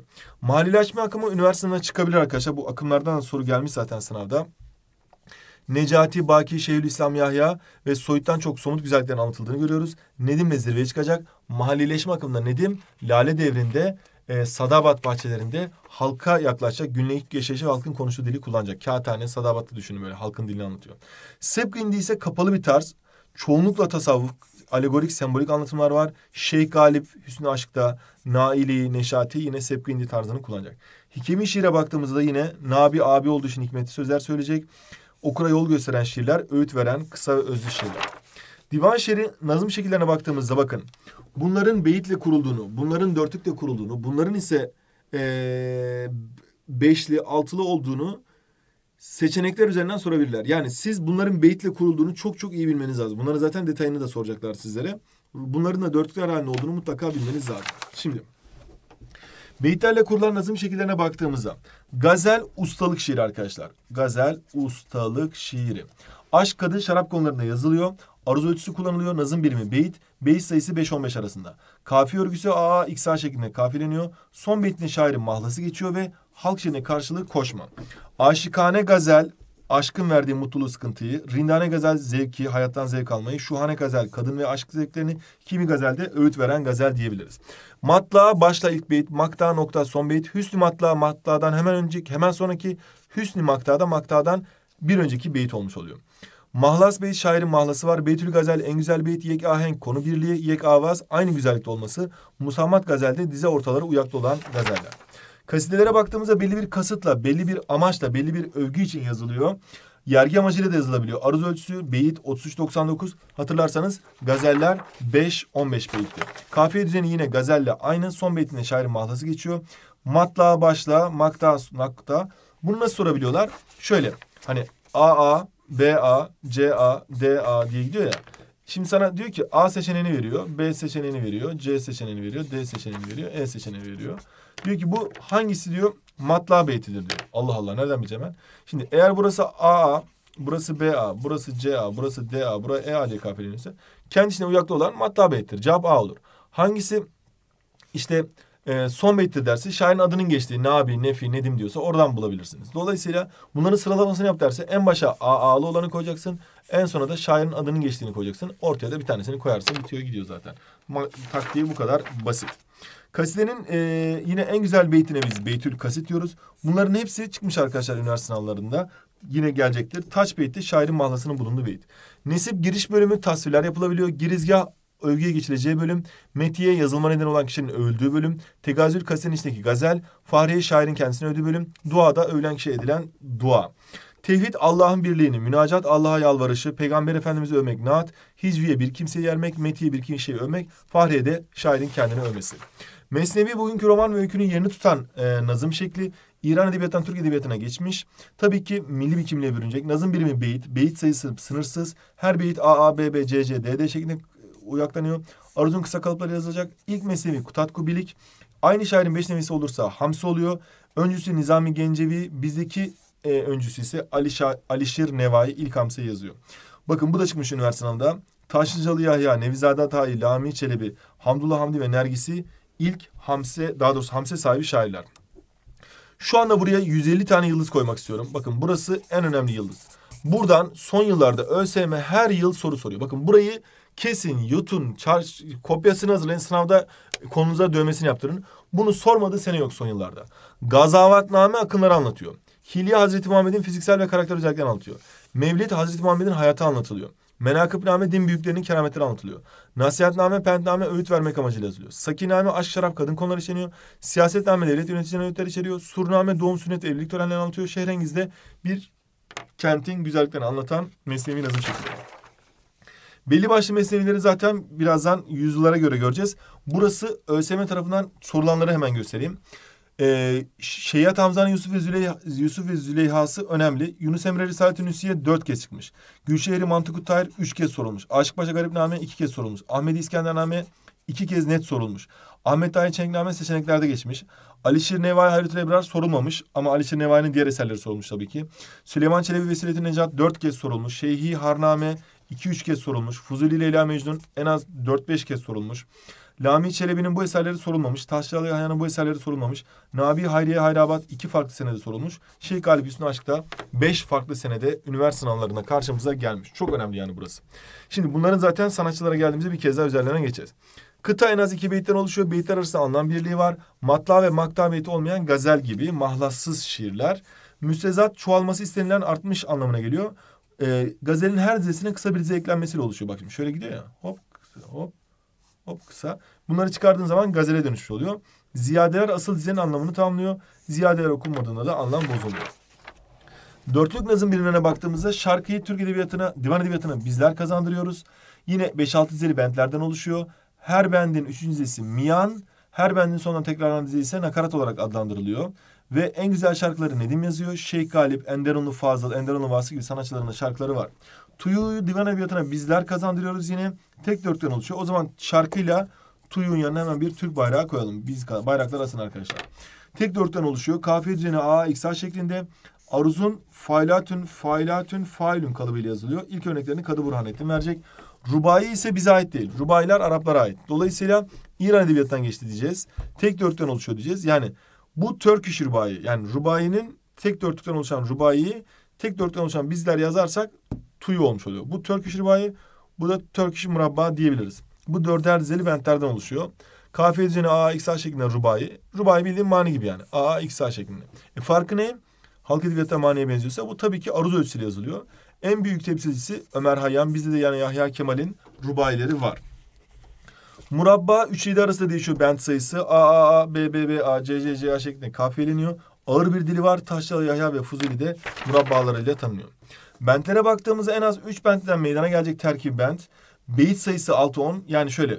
Birinci beyit, ikinci beyit, üçüncü beyit, dördüncü beyit, beşinci beyit, altıncı beyit. Bu birinci bent. Sonra birinci beyit, iki, böyle gidiyor. Bu da ikinci bent oluyor. İşte vasıta beyti her bendin sonunda değişiyor. Burada değiştiği için, yeni bir konuya geçtiği için terkibent yazması kolay. Ama tercihbentte vasıta beyti aynen tekrar ediliyor. Dolayısıyla sen burada aşktan bahsettiysen burada konuyu değiştirip yine aşktan bahsediyorsun ve bunu da yazması gerçekten zor. O yüzden e, aynen tekrar edildiği için tercihbenti yazmak zor. Terkibentte farklı bir konuya geçtiğin için rahatlayabiliyorsun. Divan şiirinin tanınmış temsilcilerine baktığımızda ÖSYM tarafından sorulmuş olan sanatçılar bunlar. 13. yüzyılda Hoca Dehani, birazdan zaten bunların hepsini göreceğiz. 14. yüzyılda Ahmedi, 15. yüzyılda. Bunlar Milletin Bakanlık kitabında geçen bilhassa üzerine düşünmüş sanatçılar. Aşık Paşa, Süleyman Çelebi Şeyhi, Ahmet Paşa Necati. 16. yüzyılda Fuzuli Baki Hayali Bey Taşyalı 17. yüzyılda Nefi ve Nabi. 18. yüzyılda Nedim Şeyh Galip. 19. yüzyılda Enderun Vasıf'ı bilmemiz lazım. Geldik şimdi Hoca Dehani'ye.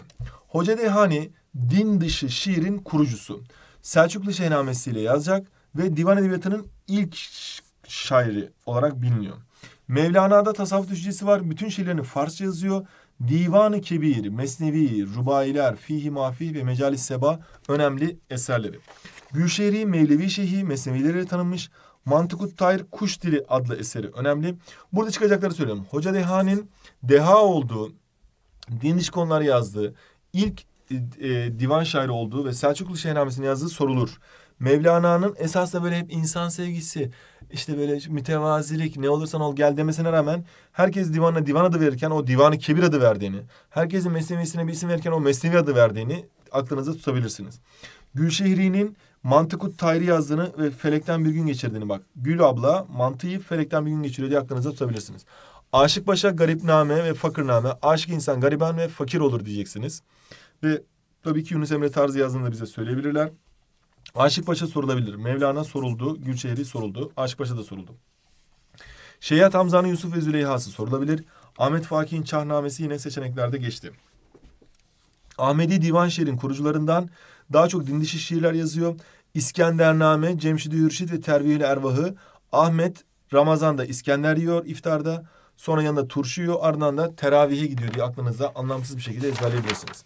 Kadı Burhanettin'e baktığımızda ilk tüy örneklerini yazacak. Hem tasavvuf hem de dinliş konular yazacak. Seyyid Nesimi Hurufilik tarikatının kurucusu Alevi Bektaşi Yedi Ulu Ozan'dan biri. Şeyhinin Harnamesi ve Hüsrev şiirini bize sorabilirler. Bir hekim e, fetret değerinde saraya hekim olarak geliyor. Necati Bey yine e, Divan adlı eseri var. Melikü Şuara olarak biliniyor. Süleyman Çelebi Mevlüt'ün yazarı Vesilettin Necat Kurtuluş Vesilesi adlı Peygamber Efendimizin hayatını anlatan eseri önemli. E, Mevlüt sakın şeyle karıştırmayın. Hani sagu ağıta dönüşüyor. Ağıtlarda mevlüte dönüşüyor diye bir soru sormuş ÖSYM. Sakın sakın karıştırmayın. Burası Mersi'ye alacak. Mevlüt başka bir şey. Mevlüt vefat eden kişileri nereden okuyoruz biz ama Mevlüt bu. Başka bir şey. Sagu Ağıt Mersi ise vefat eden kişiler aradan söylenen şiirler. Alişir Nevai şiirden aklınızda tutun. Şiir gibi bir adam. Çağatay Edebiyatı'nda Çağatay Türkçesini kurmaya çalışıyor. İlk hamse sahibi, ilk tezkire yazarı. Aynı zamanda Mizanül Evzan diye bir e, şiir bilgisi kitabı var. İlk tezkire Mecalisü Nefais, Muhakemetü Lügateyn Türkçenin Farsçadan üstünlüğünü kanıtlamaya çalıştığı önemli bir eser. Aynı Kaşgarlı Mahmud'un yazdığı Divan-ı Lügat Türk hani Araplara Türkçe öğretmek için yazılmıştı ya. Bu da e, Türkçenin Farsçadan üstün olduğunu anlatmak için yazılmış önemli bir eser. Alişir Nevai, Çağatay Türk Birliği kurmaya çalışıyor. Hamdullah Hamdi'ye baktığımızda yine e, ilk Hamse sahibi Anadolu sahasında Sinan Paşa Süsü Nesir'in ilk temsilcisi üniversiteden çıkmış. Tazarun Namesi üniversiteden çıkmış. Marif Namesi üniversiteden çıkmış. Süslü secili bir anlatım var.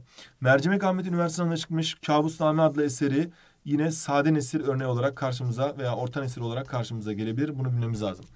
Fuzuli'ye baktığımızda yine ÖSYM tarafından defalarca sorulmuş. Azeri Türkçesiyle yazacak ızdırap şairi aşk acısından zevk alıyor adam. Su Kazidesi en meşhur eseri zevk alıyor derken yani keyif alıyor. Ve tabii ki de buradaki aşk da ilahi aşk. Kaside Gazel ve Mesnevileri çok başarılı. İlk edebi mektup şikayetname onun eseri. Leyla ve Mecnun Beşeri Yaştan ilahi aşka geçiş. Mengübade Şah İsmail'e sunulan mesnevi. Tercümeyi Hadis-i Erbain 40 hadis. Hadigat-ı Süheda Kerbela olayı. Mektubat, mektupları, Sakiname Mesnevisi, Enisül Kalp Mesnevisi, Rindü Zahid. Bunların her biri üniversitede sorulabilir. Burayı bilmemiz lazım. Şeyh Halim'in Hüsnü aşkıyla karıştırmayın. Buna Sıhhatu Maraz ismini vermemiz lazım. Baki'ye baktığımızda şairler sultanı, e, müderris kadı kazasker ama rind şairi yani zevk ve eğlence şairi. Sanatsız tek bir beyti yok. Şiirlerine biçim mükemmelliği var. Tasavvuftan uzak, hiç yoktur denilemez ama. Kanuni Mersiyesi şiiri önemli. Eserleri tabii ki e, Fezaili Mekke, Divan önemli eserleri. Zati'ye baktığımızda Zati Ahmedi Mahmut diye aklınızda tutabilirsiniz. Baki Şairler Sultanı Kanuni, Sultanlar Sultanı Kanuni'ye Mersi yazıyor diyebilirsiniz. Bağdatlı Ruhi terkibentleriyle ünlü. Taşlıcalı Yahya yine Edirne Şehrengizi önemli. İlk kez mesnevilerde mekan anlatan bir kişi. İstanbul Şehrengizi, Edirne Şehrengizi önemli. Babür Şah'a baktığımızda ilk edebi anı Babürname yazacak. Nabi abi olduğu için yine üniversitede sorulmuş. E, sade dil kullanım var. Abi olduğu için bize öğüt verecek. Hikemi tarzda şeyler yazacak. Oğluna öğütler verdiği Hayriye, Hayrabat adlı eserlerini bilmemiz lazım. Ve yine Nevizade Tahi'ye baktığımızda Hamsecilik geleneğinin son halkasında Nefi'ye baktığımızda Sihamı Kaza ve Tuhvetül Uşak gibi övgü ve yergileri var. Hicri türünde çok başarılı. Bu da yine ÖSYM tarafından sorulmuş. Nefi nefret ettiği için e, yergiler yapıyor. Sihamı Kaza, Tuhvetül Uşak diyor. Böyle sanki argo gibi. Nabis abi olduğu için Hayriye, Hayrabat diyor. Öğütler veriyor. Naili ise e, İndi'nin güçlü şairlerinden dili ağır, söz sanatları az. Dili ağır ve kapalı var. Söz sanatları az. Redif kullanımı çok. Divanı var yine. Neşati nefi etkisine yazan Sevki Hindi'nin Sevki Hindi akımını yani kapalı şiir akımının önemli şairlerinden.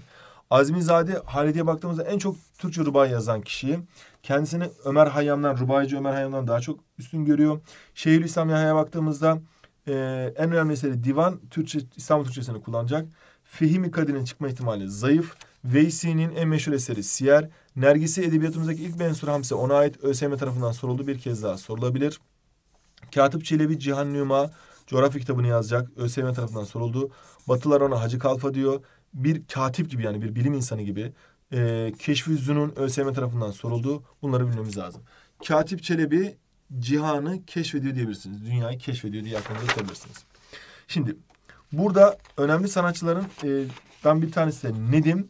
Nedim Lale Devri'nin zevk ve eğlence şairi daha çok gazel ve şarkılarıyla tanıyor. Mahalleleşme akım var ve İstanbul güzellikleriyle anlatıyor. Divan şiiri önemli. Divan eserlerini divanına topluyor. Şeyh Galip 18. yüzyılda yaşıyor. Mevlevi sembolizme benzeyen şiir akımını yani Sepki Hindi akımını temsilcisi ve son büyük temsilcisi Sonradan tabii ki Milli Edebiyat döneminde bağımsız olarak Yahya Kemal de böyle divan şiiri tarzı yazacak ama divan şiirini yeniden canlandıracak ama gerçek divan döneminde yaşayıp da son büyük şair Şeyh Galip. Divanı var ve Hüsnü Aşk adlı alegorik mesnevisi önemli. Buraya bakalım. Burası yine buraya bir kez daha e, yıldızlar koymak istiyorum detaylı bilgiler kısmında. Kastamonulu Şazi var. Makteltür'ün ilk örneğini yazacak. Bu önemli değil. Anadolu'da ilk Hüsrev İşleri mesnevisini yazarı Fahri. İlk Şehrengizi yazan Mesihi. Sehi Bey bakın bu çıkar üniversiteden. Buraya HPH'li gösteriyorum. Latifi Tezkiretü Şuara çıkar. Seydi Ali Reis Miratül Memalik soruldu. Tezkire şairlerin biyografisi, vakayname, vakanamesleri resmi tarihi, sefaretname elçilerin izlenimleri soruldu. Siyasetname devlet yönetimiyle ilgili öğütler soruldu. Kutat Kubilik hatırlarsanız. Fütüvetname ahiret teşkilatının kuralları, letaifname mizahi metin, kısası enbiya peygamber hikayeleri, tazarruname Allah'a yalvarış, Sinan Paşa'nın vardı hatırlarsanız Süsün Esirci, kıyafetname dış görünüşten karakter çıkarma, velayetname de velilerin yaşamı. Geldik Batı edebiyat akımlarına artık Tanzimat dönemine giriyoruz. Klasisizm, akıl ve sağduyu, ahlaka uygunluk, anahtar kelimelerimiz. Ee, bizde konudan çok konu işin için önem vermesi bakımından divan edebiyatı klasizm akımına benzediğini sormuşlar. Romantizm, duygu, hayaller var. Sanatçı kişiliğini direkt esere yansıtıp olayı yönlendirmeye çalışıyor, abartılar yapıyor. Realizmde nesnel gözlem var ve olay olduğu gibi aktarılıyor belgeler ışığında. Tarihçi nasıl geçmişi belgeler ışığında anlatıyorsa e, sanatçı da romantik şey realist eğer günümüzü belgeler ışığında anlatması lazım. Naturalizm, bilim, deneysel gözlem, soya çekim, çirkin ve olumsuzluklar anlatılıyor. Parnasizm, şiirdeki gerçekçilik, sembolizmde şiirdeki kapalılık, musiki, sürrealizmde bilinçaltı, rüya ve e, buna benzer şeyler diyebiliriz. Hangi sanatçılar üzerine sorarlar derseniz, La Fontaine'in, Molière'in, Şinasi'nin, Ahmet Vehbi Paşa'nın ve Labouriere'nin klasik olduğu sorulur. Goethe'nin isminden de anlaşıldığı gibi ve aynı zamanda e, Victor Hugo'nun, e, Namık Kemal'in, Ahmet Mithat Efendi'nin romantik olduğu sorulur. Bakın bütün Ruslar realisttir. Hemen bakalım. Çehov, Gorki, Gogol, Turgenev, işte Dostoyevski, Tolstoy sadece Pushkin Pushkinlik yapmıştır. O romantiktir. Aynı zamanda büyük, büyük bütün romancılar, kurucusu Flaubert, Madame Bovary'nin yazarı, Balzac, Maupassant, Charles Dickens bunların hepsi hep realisttir. Yani kaliteli roman yazanların hepsi realisttir diyebiliriz. Sami Paşa'dan Sezai mesela Sergüzeş, ilk realist roman Araba Sevdası, realist. Nabizade Nazım, Karabibik, Halis Ziya, batılı anlamda ilk roman, romanları yazan kişi. Yakup Kadri, Tanzimat'tan Cumhuriyet dönemine kadar ki toplumsal yaşamı mükemmel bir şekilde anlatan ve eser özetleri her zaman sorulan sanatçı.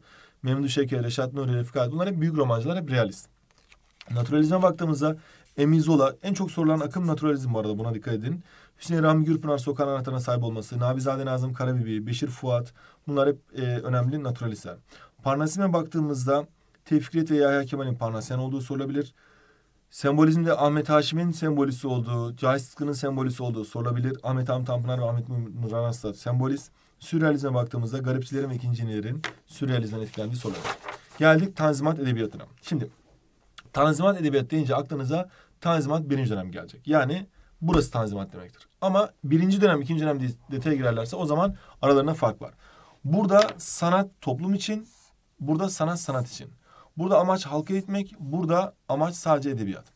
Burada Fransa'nın etkisinde, burada da Fransa'nın etkisinde. Burada klasisizm ve romantizm akım var. Burada ise realizm ve naturalizme gerçekçilik artmaya başlıyor. Burada divan şairlerine eleştiri var tabii ki. Burada da var. Tanzimat döneminde divan şairlerine eleştiri var. Hatta Namık Kemal e, Ziya Paşa ile aralarında böyle bir ikilem olacak. Ziya Paşa Harabat diye divan şiir antolojisi yazınca Namık Kemal tarihi ve harabatla onu eleştirecek. Tanzimat ikinci dönemde de yine zemzeme demdeme çatışması yani eski öven Muallim Naci ile yeni isteyen Recaizade Ahmet Ekrem çatışmasını mutlaka bilmemiz lazım. Burada hece ölçüsü savunulacak ama maalesef aruz kullanılıyor. Dilde sadeleşme amaçlanacak ama yine dilde sadeleşme kolay kolay başarılamıyor. Ve e, Harabat, Ziya Paşa, Tarihi Barabat, Namık Kemal çatışmasını göreceğiz. İlkler, burada birçok ilk var zaten edebiyatımıza ilkler Tanzimat döneminde giriyor. Buraya baktığımızda ise divan şairlerine eleştiri var tabii ki. Demdeme, e, Muallim Naci, Zemzeme, Recaizade Mahmut Ekrem'in kulak için kafiye, göz için kafiye tartışmasını yine göreceğiz. Burada yine arzu ölçüsü devam edecek. İlk realist roman Araba Sevdası, ilk köy romanı Karabibik ve batılı anlamda ilk öykü örnekleri, küçük şeyler bunların hepsini yine ikinci dönemde göreceğiz. Şimdi dile baktığımızda şiir açısından söylüyorum. Tanzimat birinci dönem şiirinde dilde sadeleşme amaçlanıyor. Arzu ölçüsü var. Nazım birim, beyit ve bent, rubai kasideleri görüyoruz. Toplum için sanat yapılıyor. Vatan, hak, hukuk, kanun, adalet, esaret, hürriyet kavramları var. Zaten Tanzimat birinci dönemi, daha doğrusu Tanzimat şiirini özetleyen ifade şu. Namık Kemal'in hürriyet kasidesi bak.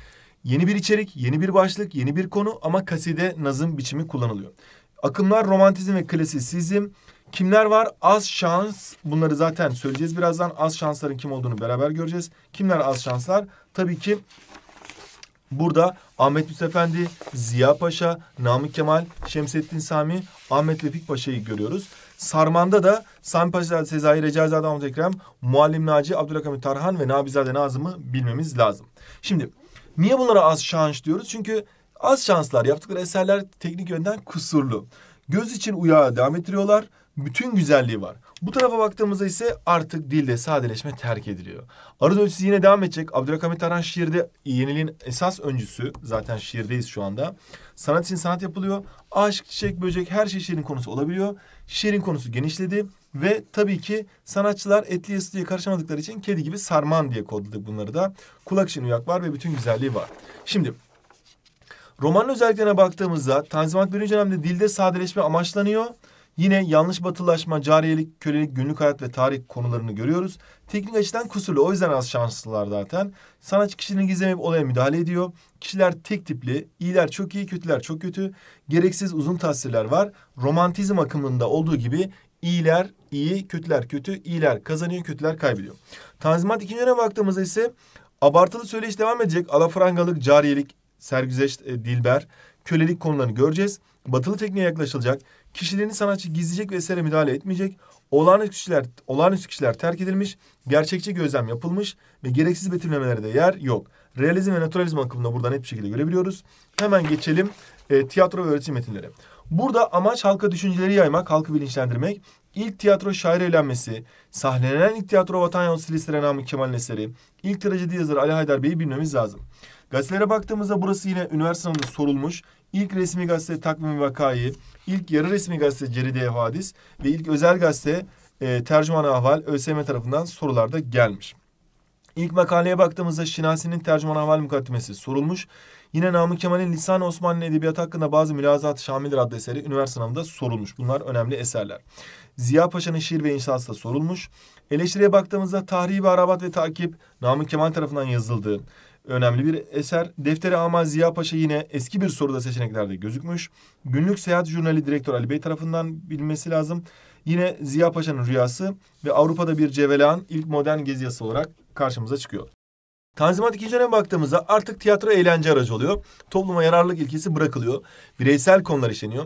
Tiyatrolar sahnelenmeye elverişli değil, oynanmak için değil okumak için yazılıyor. Burada da kim var? Bu da sorulmuş. Abdülhak Hamit Tarhan'ı bilmemiz lazım. Yine e, gazetelerde Şemsettin Sami'nin Sabahı, Şemsettin Sami'nin yine Lisan ve Edebiyatımız adlı makalesi önemli. Eleştiriye baktığımızda Muallim Naci Demdeme yazarken Recaizade Mahmut Ekrem Zemzeme ile ona karşı çıkacak. Ve yine anıda Ömer'in çocukluğu Muallim Naci tarafından, Rumuzul Edep Sami Paşa Sezai tarafından yazılıyor. Ee, yine e, Recaizade Mahmut Ekrem tarafından yazılan Talim Edebiyat adlı ders kitabı, Kudem Adam Birkaç Şair adlı biyografiler ve Lugati Naci Muallim Naci'nin eseri önemli.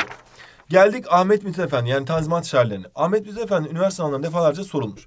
Halka okuma sevgisi aşıladığı, ilk hoca olduğu, sanat için toplum yaptığı, daha doğrusu toplum için sanat, sanat toplum için anlayışında toplum için sanat yapıyor. Zaten halka okuma sevgisi aşılıyor. Ardından gelen Hüseyin Rahmi Gürpınar ve Ahmet Rasim de zaten onun ekolünden devam edecekler. Servet Fırın'a katılmayacaklar. Yazı makinesi kendisi romanları teknik açıdan kusurlu. Mesela Felatun Bey ve Rakım Efendi. Rakım Efendi iyi, Felatun Bey kötü. Ve Felatun Bey rezil olup bitiyor, Rakım Efendi kazanıyor. Olayın akışını kesip okuyucuya bilgi verdiği için yani resmen toplum için sanat yapıyor. Romantizm akımının etkisinde Meddah gibi Servet yazarlarına dekadanlar, sanatta yozlaşanlar diyor. Çerkez Özdenler tiyatrosunu bilmeniz lazım. Felatun Bey ve Rakım Efendi bilmeniz lazım. Esaret, kölelik konusunu işleyen ilk roman olduğunu bilmeniz lazım.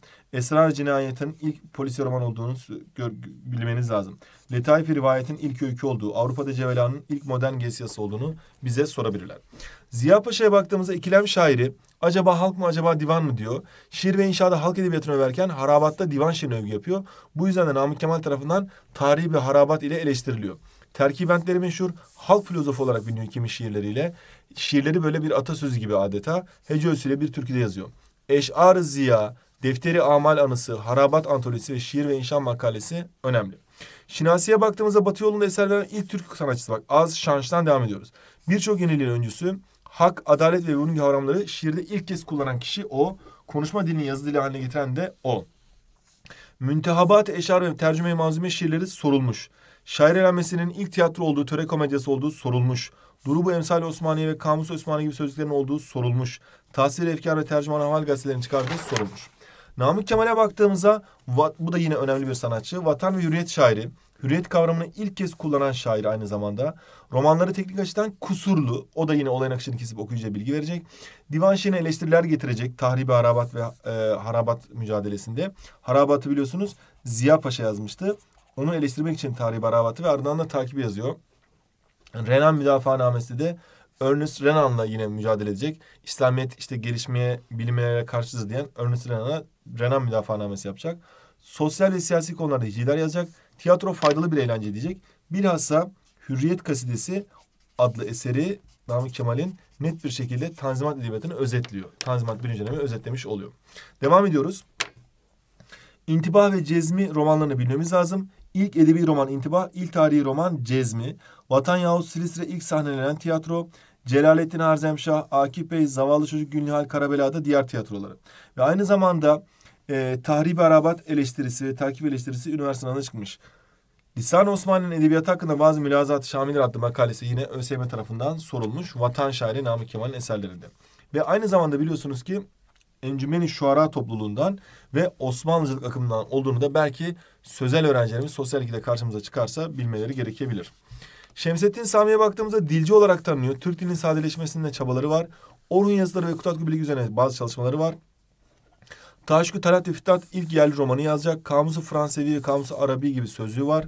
Ahmet Vefik Paşa Türkçülük akımının öncülerinden Molière'den adapteleriyle meşhur. Bursa'da ilk tiyatro binasını kuran önemli bir sanatçı Ahmet Vefik Paşa.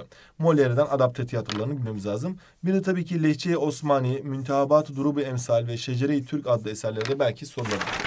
Geldik ikinci döneme. İkinci döneme baktığımızda Üstad teorisyen olarak yöneliklere öncü kulak için kafiyeyi savunan bir sanatçı ve bunun için Muallim Naci ile mücadele ediyor. Muallim Naci demdeme derken o zemzeme diyecek ve onu eleştirecek. E, güzel olan her şeyin şiirin konusu olabileceğini söylüyor. Çocukların ölümü konusunu sıkça işleyecek ve Serif'in edebiyatının oluşmasına öncülük ediyor Tevfikret'i bu derginin başına getirerek. İlk realist roman Araba Sevdası ve yine Muhsin Bey Şemsa Öyküleri, e, Name-i Seher ve Yadigar-ı Şebap adlı şiirleri üniversitede çıkmış. Takdir Elham ve Zemzeme eleştirileri üniversitede çıkmış. Bunları bilmemiz lazım. Sami Paşa'da Sezai'ye baktığımızda realizm akımından etkilenecek ve öykülerinde e, teknik açıdan ve romanlarında güçlü olacak. Romanlarından daha güçlü olacak. Batılı alanda ilk öyküleri yazan kişi. Sergüzeş Dilber adlı esir kızın hikayesini anlattığı üniversite sınavında sorulmuş. Dilber diye yazıyorum buraya. Ve yine Küçük Şeyler adlı öyküsünün içerisindeki Pandomima öyküsü de yine sorulmuş. Tanzimat döneminde yazılan bu önemli gerçekçi öyküler. Muallim Naci'ye baktığımızda eski edebiyat taraftarının öncüsü batılı şiirde başarılı örneklere sahip göz için kafiyeyi savunuyor. Halk edebiyatı nazım biçimlerini kullanan bir sanatçı. Köylü Kızların Şarkısı önemli bir eser ve yine e, Istilahat Edebiye adlı araştırmasını bazen seçeneklerde görebiliyoruz. Nabizade Nazım ilk kez köy yaşamını anlatıyor. Yaşanılan karakterlere göre çevreyi ilk kez anlatıyor. Karakterleri yaşanılan çevreye göre konuşturuyor. E, hayaliyün ve hakikiyün yani hakikiyün ne demek? Gerçek, hayalde hayal. Bu adam gerçekçi, realist naturalist. Dolayısıyla İlk köy romanı Karabibik. İlk psikolojik roman denemelerinden bir tanesi olacak olan yine Zehra'yı o yazacak. Ve tabii ki de ee, burada Yadigarlarım Haspa adlı öykülerini belki sorabilirler. Abdülhamit Tarhan'a baktığımızda şairi azam, şiirde batılaşmanın ve yeniliğin esas öncüsü, tezatların şairi ve tabii ki e, şiirde metafizik ürperti getirecek. Tiyatroları oynamak için değil okumak için olduğu üniversite sorulmuş. İlk duraksız şiir Validem, Aruz'la yazılan ilk tiyatro Eşber, heceyle yazılan ilk tiyatro Nesteren, yabancı ülkede geçen tiyatro Finten ve şiir ilk defa bir kadının ağzından söylenmesi bunlar hep Abdülhamit Tarhan'ın yenilikleri. Sahra ilk pastoral şiir. Yine Makber eşinin ölümü üzerine yazdığı şiir. Validem ilk uyaksız şiir. Bunları bilmemiz, ilk duraksız şiir. Bunları bilmemiz lazım. Ve yine burada Dihteri Hindu adlı tiyatrosunu ve Macera Aşk adlı tiyatrolarını bir şekilde seçeneklerde bize gösterebilirler. Ahmet Cevdet Paşa mecelle tarihini yazıyor. Burada çıkabilecek olanların altına kırmızı çizelim. Emin Nihat'ın Müsameretnamesi'nin ilk öykü olduğunu bilmemiz gerekiyor. Fatma Aliye'nin ilk kadın romancı olduğunu bilmemiz gerekiyor. Mizancı Murat'ın Turf anlamı yoksa Turfa madde eseri önemli. Beşir Fuat'ın ilk naturalist olduğu, AG Efendi'nin ilk özel gazete çıkardığını bilmemiz lazım. Gazeteleri söylemiştik zaten. Takvim Vekai ilk resmiydi. Ceride Vadis ilk yarı resmiydi. Tercüman Haval ilk özel gazeteydi. Tasvir Efkar Gazetesi'ni Şinasi ve Namık Kemal çıkarıyor. Tercüman Hakikati Ahmet Müftü Efendi çıkarıyor. Burada diğer gazeteler bir şekilde görseniz yeterli. Geldik Sertifün Edebiyatı'na. Sertifün Edebiyatı sanat için sanat yapacak. Fransız Edebiyatı'na örnek alacak. Şiirde gerçekçilik olan parnasizm ve kapalılık olan sembolizm ve tabii ki romanda gerçekçilik olan realizm ve gerçeğin çirkin yönünü deneyle anlatan naturalizmden etkilenecekler. Halktan kopuk salon edebiyatı yapacaklar. Dönemin siyasal konularına uzaklar. Mai ve Siyah, Eylül, Şermin, Mensur şiirler, Anjanman gibi ilkler onlara ait. Mavi ve Siyah nasıl bir ilk hocam? Batılı, batı edebiyat, batılı anlamda ilk roman olarak geçiyor. İlk psikolojik roman yine, ilk çocuk şiirleri, ilk mensur şiirler Halil Ziya'nın eseri. Bunlar hep Sertür'ün sanatçılarına ait. Dönemin siyasal koşulları nedeniyle içine kapanık, içine içine kapanık bireyci bir sanat anlayışı işleyecekler. Ee, başka da şansları yok zaten. Burada Tevfikret Mehmet Akif Ersoy'la hani gericilik bu Tevfikret dinlerin gelişmemize mani olduğunu söyleyecek. Mehmet Akif Ersoy ise daha dini lirizinden beslenecek. İslam birliğini savunacak. Cenab-ı Şahabettin ve Ali Canip ve Mehmet, Ahmet Mithat da e, Cenab-ı Şahabettin'e yüklenecekler. Sen işte dili mahvettiniz. İşte yok Lerzeylu, Ruşen gibi böyle garip garip tamlamalarla Arapça, Farsça, Fransızca her şeyi karıştırdınız diyecekler. Bunlar da halk için edebiyat yapan e, Ahmet Efendi bunlara dekadanlar diyecek, yozlaşanlar diyecek. Ali Canip de yine Cenap Bey'le münakaşalarım eserinde Cenap Şahabettin'in dilinin ağırlığından e, yakınacak. Şiirine baktığımızda Sertif'in dili tabii ki ağır, süslü bir dile sahip. Ölçü, aruz ölçüsü. Tevfikret zaten buradan net görüyoruz. Tevfikret sadece e, şerminde bir hece ölçüsünü kullanacak. E, çocuklar için yazdığı için. Beyit ve band nazım birim var. Sonra serbest müzikat ve terzerimayı görüyoruz. Sanat için sanat, acı, melankoli, aşk var. Şiirde gerçekçilik, parnasizm ve şiirde kapalık sembolizm akımını görüyoruz. Tevfikre de Cenab-ı Şahbettin önemli. E, şairler burada tabii ki kulak için uyak anlayışı var. Konu bütünlüğü sağlanıyor. Nazım, nesre, şiir düzeye yaklaşıyor. Anlamın beytte toplanması geleneğini yıkıyorlar. Anjanbuman, dizenin son kelimesiyle sonraki dizeyi başlatma sanatı var. Pitoresk şiir, tablo altına yazılan şiirlere deniyor. Mensur şiirde düz yazı şeklinde yazılan şiir olduğunu unutmamamız gerekiyor. Romana baktığımızda Servet Fünun döneminde tabii ki roman en üst kaliteye çıkacak. Artık o Tanzimat'ta az şanslılar. Servet Fünun'da e, şey Tanzimat 2. dönemde ilk realistler falan diyorduk ama Batı Edebiyatı yolunda batılı anlamda ilk romanlar bu dönemde yaşanacak. Tabii ki süslü ve ağır bir dil var. Düş gerçek çatışması, mai hayallerle gelip simsiyah gece dönen Ahmet Cemil'i göreceğiz. Servet Fünun sanatçısını temsil eden Mavi ve Siyah romanında Halil Ziya Uşaklıgil'in.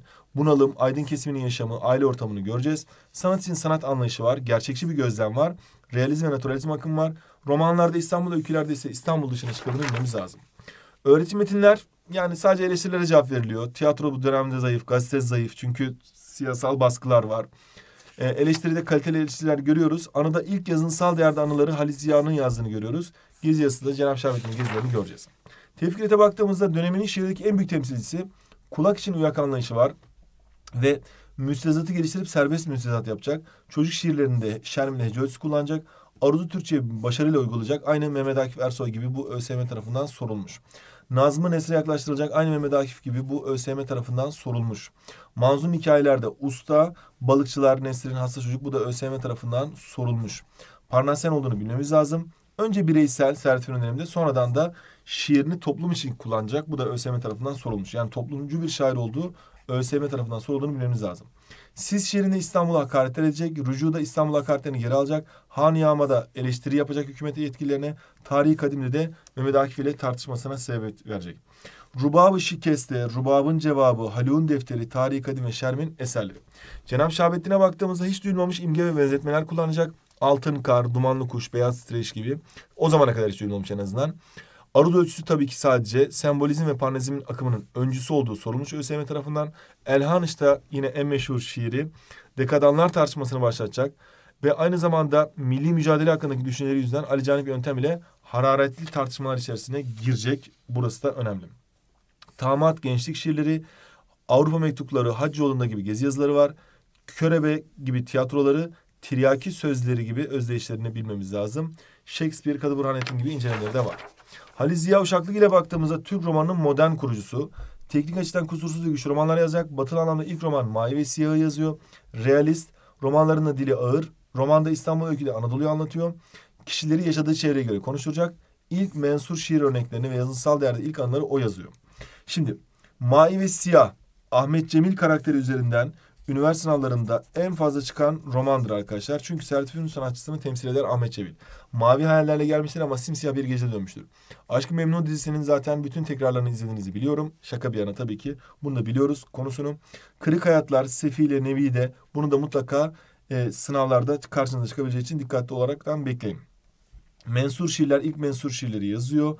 Mezardan sesleri var. Saray ve Ötesi bakın bu çıkmış üniversitede. Saray ve Ötesi 40 yıl adlı anıları yazınsal değerde ilk anlar olduğu da ÖSYM tarafından sorulmuş. Mehmet Rauf'a baktığımızda Eylül adlı ilk psikolojik romanı yazıyor. Dil ve anlatım olarak Halil Ziya'nın etkisinde e, Darül Bedai'nin yönetim kurulunda görev alacak. E, Birçok piyesleri var. Eylül ilk psikolojik romanı, Genç Kız Kalbi, aynı zamanda Halas tabi Kurtuluş Savaşı ile alakalı olduğunu bilmemiz lazım. Burası önemli e, eserleri ve yine Siyah İnciler adlı mensur şiirinde bilmemiz gerekiyor. Evet dönemin bağımsızına geldiğimizde yani Sertifinin döneminin bağımsızına geldiğimizde Hüseyin Rami Gürpınar ve Ahmet Rasim'i görüyoruz. Ama onun öncesinde bir bilgi vermek istiyorum size. Burası kafanızı karıştırmasın diye. Şimdi Tanzimat birinci dönem vardı. Tamam Tanzimat birinci dönemi yazdık. Tanzimat ikinci dönemi yazdık. Sonrası Tanzimat ikinci dönemde Recaizade Mahmut Ekrem vardı. Bu adam üstattı. Üstad Ekrem Sertif Fünun dergisinin başına tefkireti getirdi. Tefkiret şair bakın TF yazıyorum. Bu kim Recaizade Mahmut Ekrem. Tevfikret'i getirdi. Tevfikret sonrasında Cenab Şahabettin'le beraber şiirler yazacak. Burası Cenab Şahabettin, CŞ. Ve bir de romancılar var. E, Halit Ziya Uşaklıgil ve Mehmet Rauf. Halit Ziya Uşaklıgil ve Mehmet Rauf da tabii ki dönemin romancıları. Şimdi bunlar tabii ki ne yapacaklar? Mensur şiirler yazacak. İşte mensur şiirler ve mezardan sesleri yazmış Halit Ziya Uşaklıgil. Bu da Siyah İncileri yazmıştı. Burası duruyor.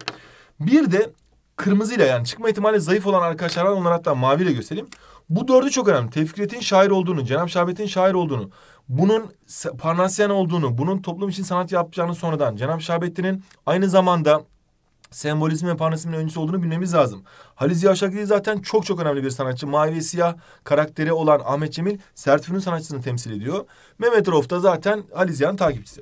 Fakat burada bir de şöyle yeşille göstereceğimiz çıkma ihtimali zayıf olan adamlar var. Onları da hemen söyleyelim. Şimdi Hüseyin Cahit Yalçın var. Bu Nadide ve Hayal içinde romanlar yazacak. Kavgalarım adlı eleştirisi var. Ve tabii ki edebiyat hukuk makalesi yüzünden bakın Hüseyin Cahit Yalçın bu adam derginin kapanmasına, edebiyat ve hukuk makalesi çevirisi yüzünden derginin kapanmasına sebebiyet verecek. Geçiyoruz Süleyman Nazif var. Süleyman Nazif de yine önemli bir sanatçı değil. Bu da Gizli Figanlar diye bir eser yazacak.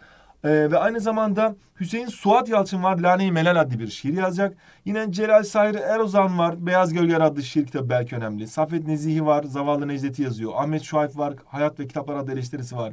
Faik Ali Ozan Soy var. İkinci Hamit olarak biliniyor yani Abdülhamit Tarhan gibi. Hüseyin Siret Ösevar var. Leyle-i Girizan gibi. Saffet Ziya var. Salon köşelerini yazan.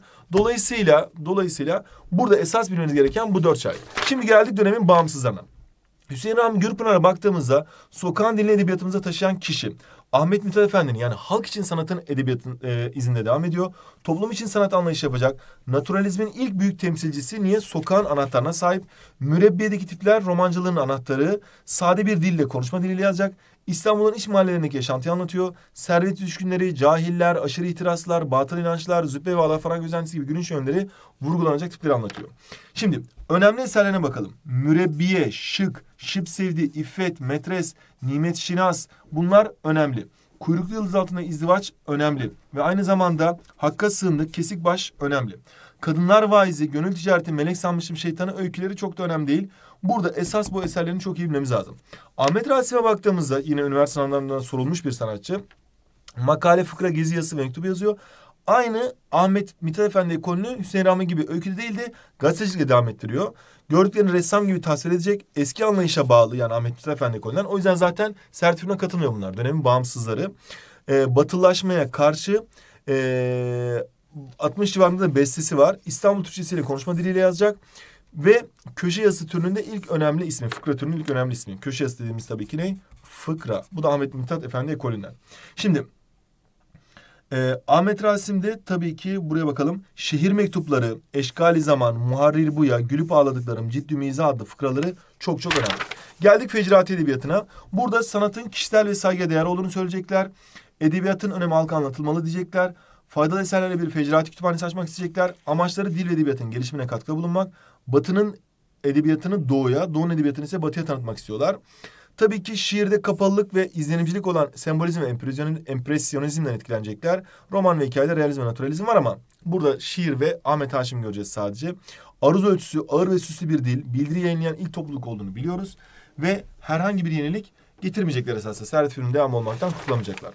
Zaten Balkan Savaşları çıkınca da bütün milli edebiyatçılar, daha doğrusu bütün e, birçok fecratici milli edebiyata geçecek. Kimler mesela? İşte Yakup Kadriler, Refik Halit Karaylar o tarafa geçecekler. Şimdi Ahmet Haşim edebiyatımızın akşam şairi. ÖSYM tarafından çok sorulan bir sanatçı. Sembolizm, şiirde kapalılık ve empresyonizm, şiirde izlenimciliğin e, etkisinde. İmge ve iç ahenk oldukça fazla ve başarılı. Serbest müstezatı sıklıkla kullanıyor.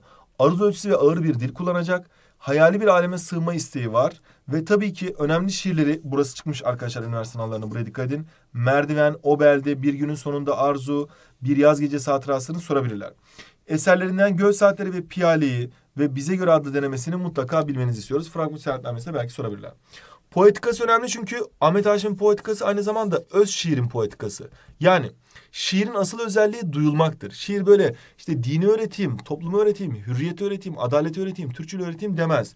Şiirin doğduğu yer bilinçaltıdır. Şiirde müzik anlamdan önce gelir ve şiir müzik ile söz arasında müziğe, musikiye yakındır diyor. Dolayısıyla şiirde anlam bulmak için şiiri deşmek eti için bülbülü e, öldürmek gibidir diyor. Dolayısıyla şiir de anlamdan uzak duruyor. Didaktikten uzak, uzak duruyor. Tek bir amacı var. Güzel şiir yazmak. Bununla beraber yine ardından gelen Yahya Kemaller, işte e, Cahil onun gibi öz şiir yazacaklar. Tahsin Nahit Ruhi Bikayt adlı şiiri, Emin Bülent Serdaroğlu'nun yine Mavi Göz Yunan Çocuğu şiiri belki seçeneklerde gözükebilir. Geldik Milli Edebiyat dönemine. Dönemi hazırlayan akımlara baktığımızda birincisi Osmanlıcılık. Yani hepimiz Osmanlı vatandaşıyız. Niye böyle farklı dil, din, ırk ayrımı yapalım gidiyorlar? Ziya Paşa, Agi Efendi ve Namık Kemal bu temsilcilikte. Bu çıkmış ÖSYM tarafından Osmanlıcılık akımında oldu. İslamcılık yine Mehmet Akif Ersoy'u görüyoruz ve İslam birliğini kurmak istiyoruz ama İngilizler Arapları kışkırttığı için tutmayacak. Batıcılıkta Tevfik Fikret'i görüyoruz. Türkçülükte de tabii ki Ziya Gökalp, Ahmet Vefik Paşa, Cemsettin Sami'nin önemli kişiler olduğunu bileceğiz. Bunlar zaten tarihin konusu ama yine de biz bu sanatçıların hangi akımda olduğunu biliriz. Milli Edebiyat'ın genel özelliklerine baktığımızda toplum içi sanat yapılacak, Anadolu yerli hayat yansıtılacak, akım Türkçülük, hece ölçüsü kullanılıyor, halkın konuştuğu dil var, dilde yalınlık çok çok önemli, yeni lisan yani pırıl pırıl bir Türkçe doğacak. Bu da yine ÖSYM tarafından defalarca sorulmuş. 1911 yılında Selanik'te Genç Kalemler Dergisi etrafında toplanan Ali Canip, Ziya Gökel ve Ömer Seyfettin yepyeni pırıl pırıl bir Türkçeyi doğuruyorlar. Evet ben bile konuşamıyorum o Türkçeyi. Şimdi burada sanatçılarımız var hemen başlıyoruz. Milli Edebiyat dönemi şiirinin üç tane özelliği var. Bakın üç farklı çeşit var. Burasını sorabiliyorlar sınavda. Buraya hemen bir ÖSYM logosu yerleştirmek istiyorum. Buradan soru gelirse sakın sakın şaşırmayın. Şimdi birincisi bir memleketçi şiir var. Yani milliyetçilik ve Türkçülük akımlarından etkileniliyor. Toplum için sanat var. Hece ölçüsüyle ve milli temalar anlatılıyor. Halk şiirinden yararlanılıyor ve milli duygular dile getiriliyor. Burada temsilcilerine baktığımızda tabii ki Mehmet Emin Yurda Kul, Ziya Gökalp, Ali Canip Yöntem, Beşirciler hep böyle milli edebiyat şiiri yazıyor. Öz şiir ise sanat için sanat anlayışı yapılıyor. Böyle bireysel temalar var. Asla böyle şey yok böyle bir didaktiklik, bir öğüt, bir Türkçülük, bir İslam falan öyle bir şey yok. Sembolizm akım etkisinde Ahmet Haşim ve Yahya Kemal saf öz şiirde. O dönemde yazmışlar yani. Ölmüyorlar tabii bu adamlar. Milli Edebiyat'ta değiller. Yahya Kemal Milli Edebiyat dönemi bağımsız. Ahmet Haşim de Fecri Hatice ama o dönemde bu tarz şiirler de var. Bir de halkın yaşayışını ve değerlerini anlatan manzumeler var. Burada öğreticilik yan ön planda. Tek anlamlı konuşma dili var, düz yazıya yakın diyaloglar var ve ölçü kafiye var ama yaşanmış ya da yaşanabilecek olaylar Mehmet Akif gibi sanatçılar üzerinden anlatılıyor. Roman ve öyküye baktığımızda sade halkın konuşma dilini görüyoruz. Kurtuluş Savaşı Anadolu aşk konuları var. Ömer Seyfettin, Yakup Kadri, Halide Edip çok önemli büyük öykü ve romancılar. Memleket edebiyat doğrultusunda Anadolu ve Anadolu'nun köyleri anlatılacak. Öğretici metinlere baktığımızda tabii ki amaç sade dil anlayışını savunmak ve tabii ki Tiyatroda Müsahipzade Celal ve İbnül Refik Ahmet Nuri 8. eli yeniden bir canlılık kazanılıyor. Eleştiride Ali Canip ön planda. Ee, e, anıda Halide Edip Adıvar'ın Türk'ün Ateşli İmtihanı Kurtuluş Savaşı anıları, Mor Salkım'ın ev çocukluk anıları, bir de zoraki diplomat Yakup Kadri'nin anıları. Gezi Yasada Yakup Kadri'nin ve Reşat Nuri'nin Anadolu notları gibi gezilerini bilmemiz lazım.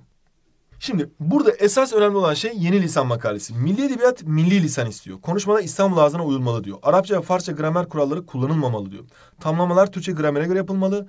Türkçe'de İstanbul Türkçesi kullanılmalı ve asla artık Türkçeleşmiş olanlar atılmamalı. Ama Türkçeleşmemiş olanları dilimizden tamamen fırlatmalıyız diyor. Yabancı sözcükler söyleyişimize göre yazılmalı. Çerçeve, çarşube, merdiven, nerduban gibi mesela. Geldik Ziya Gökalp'e.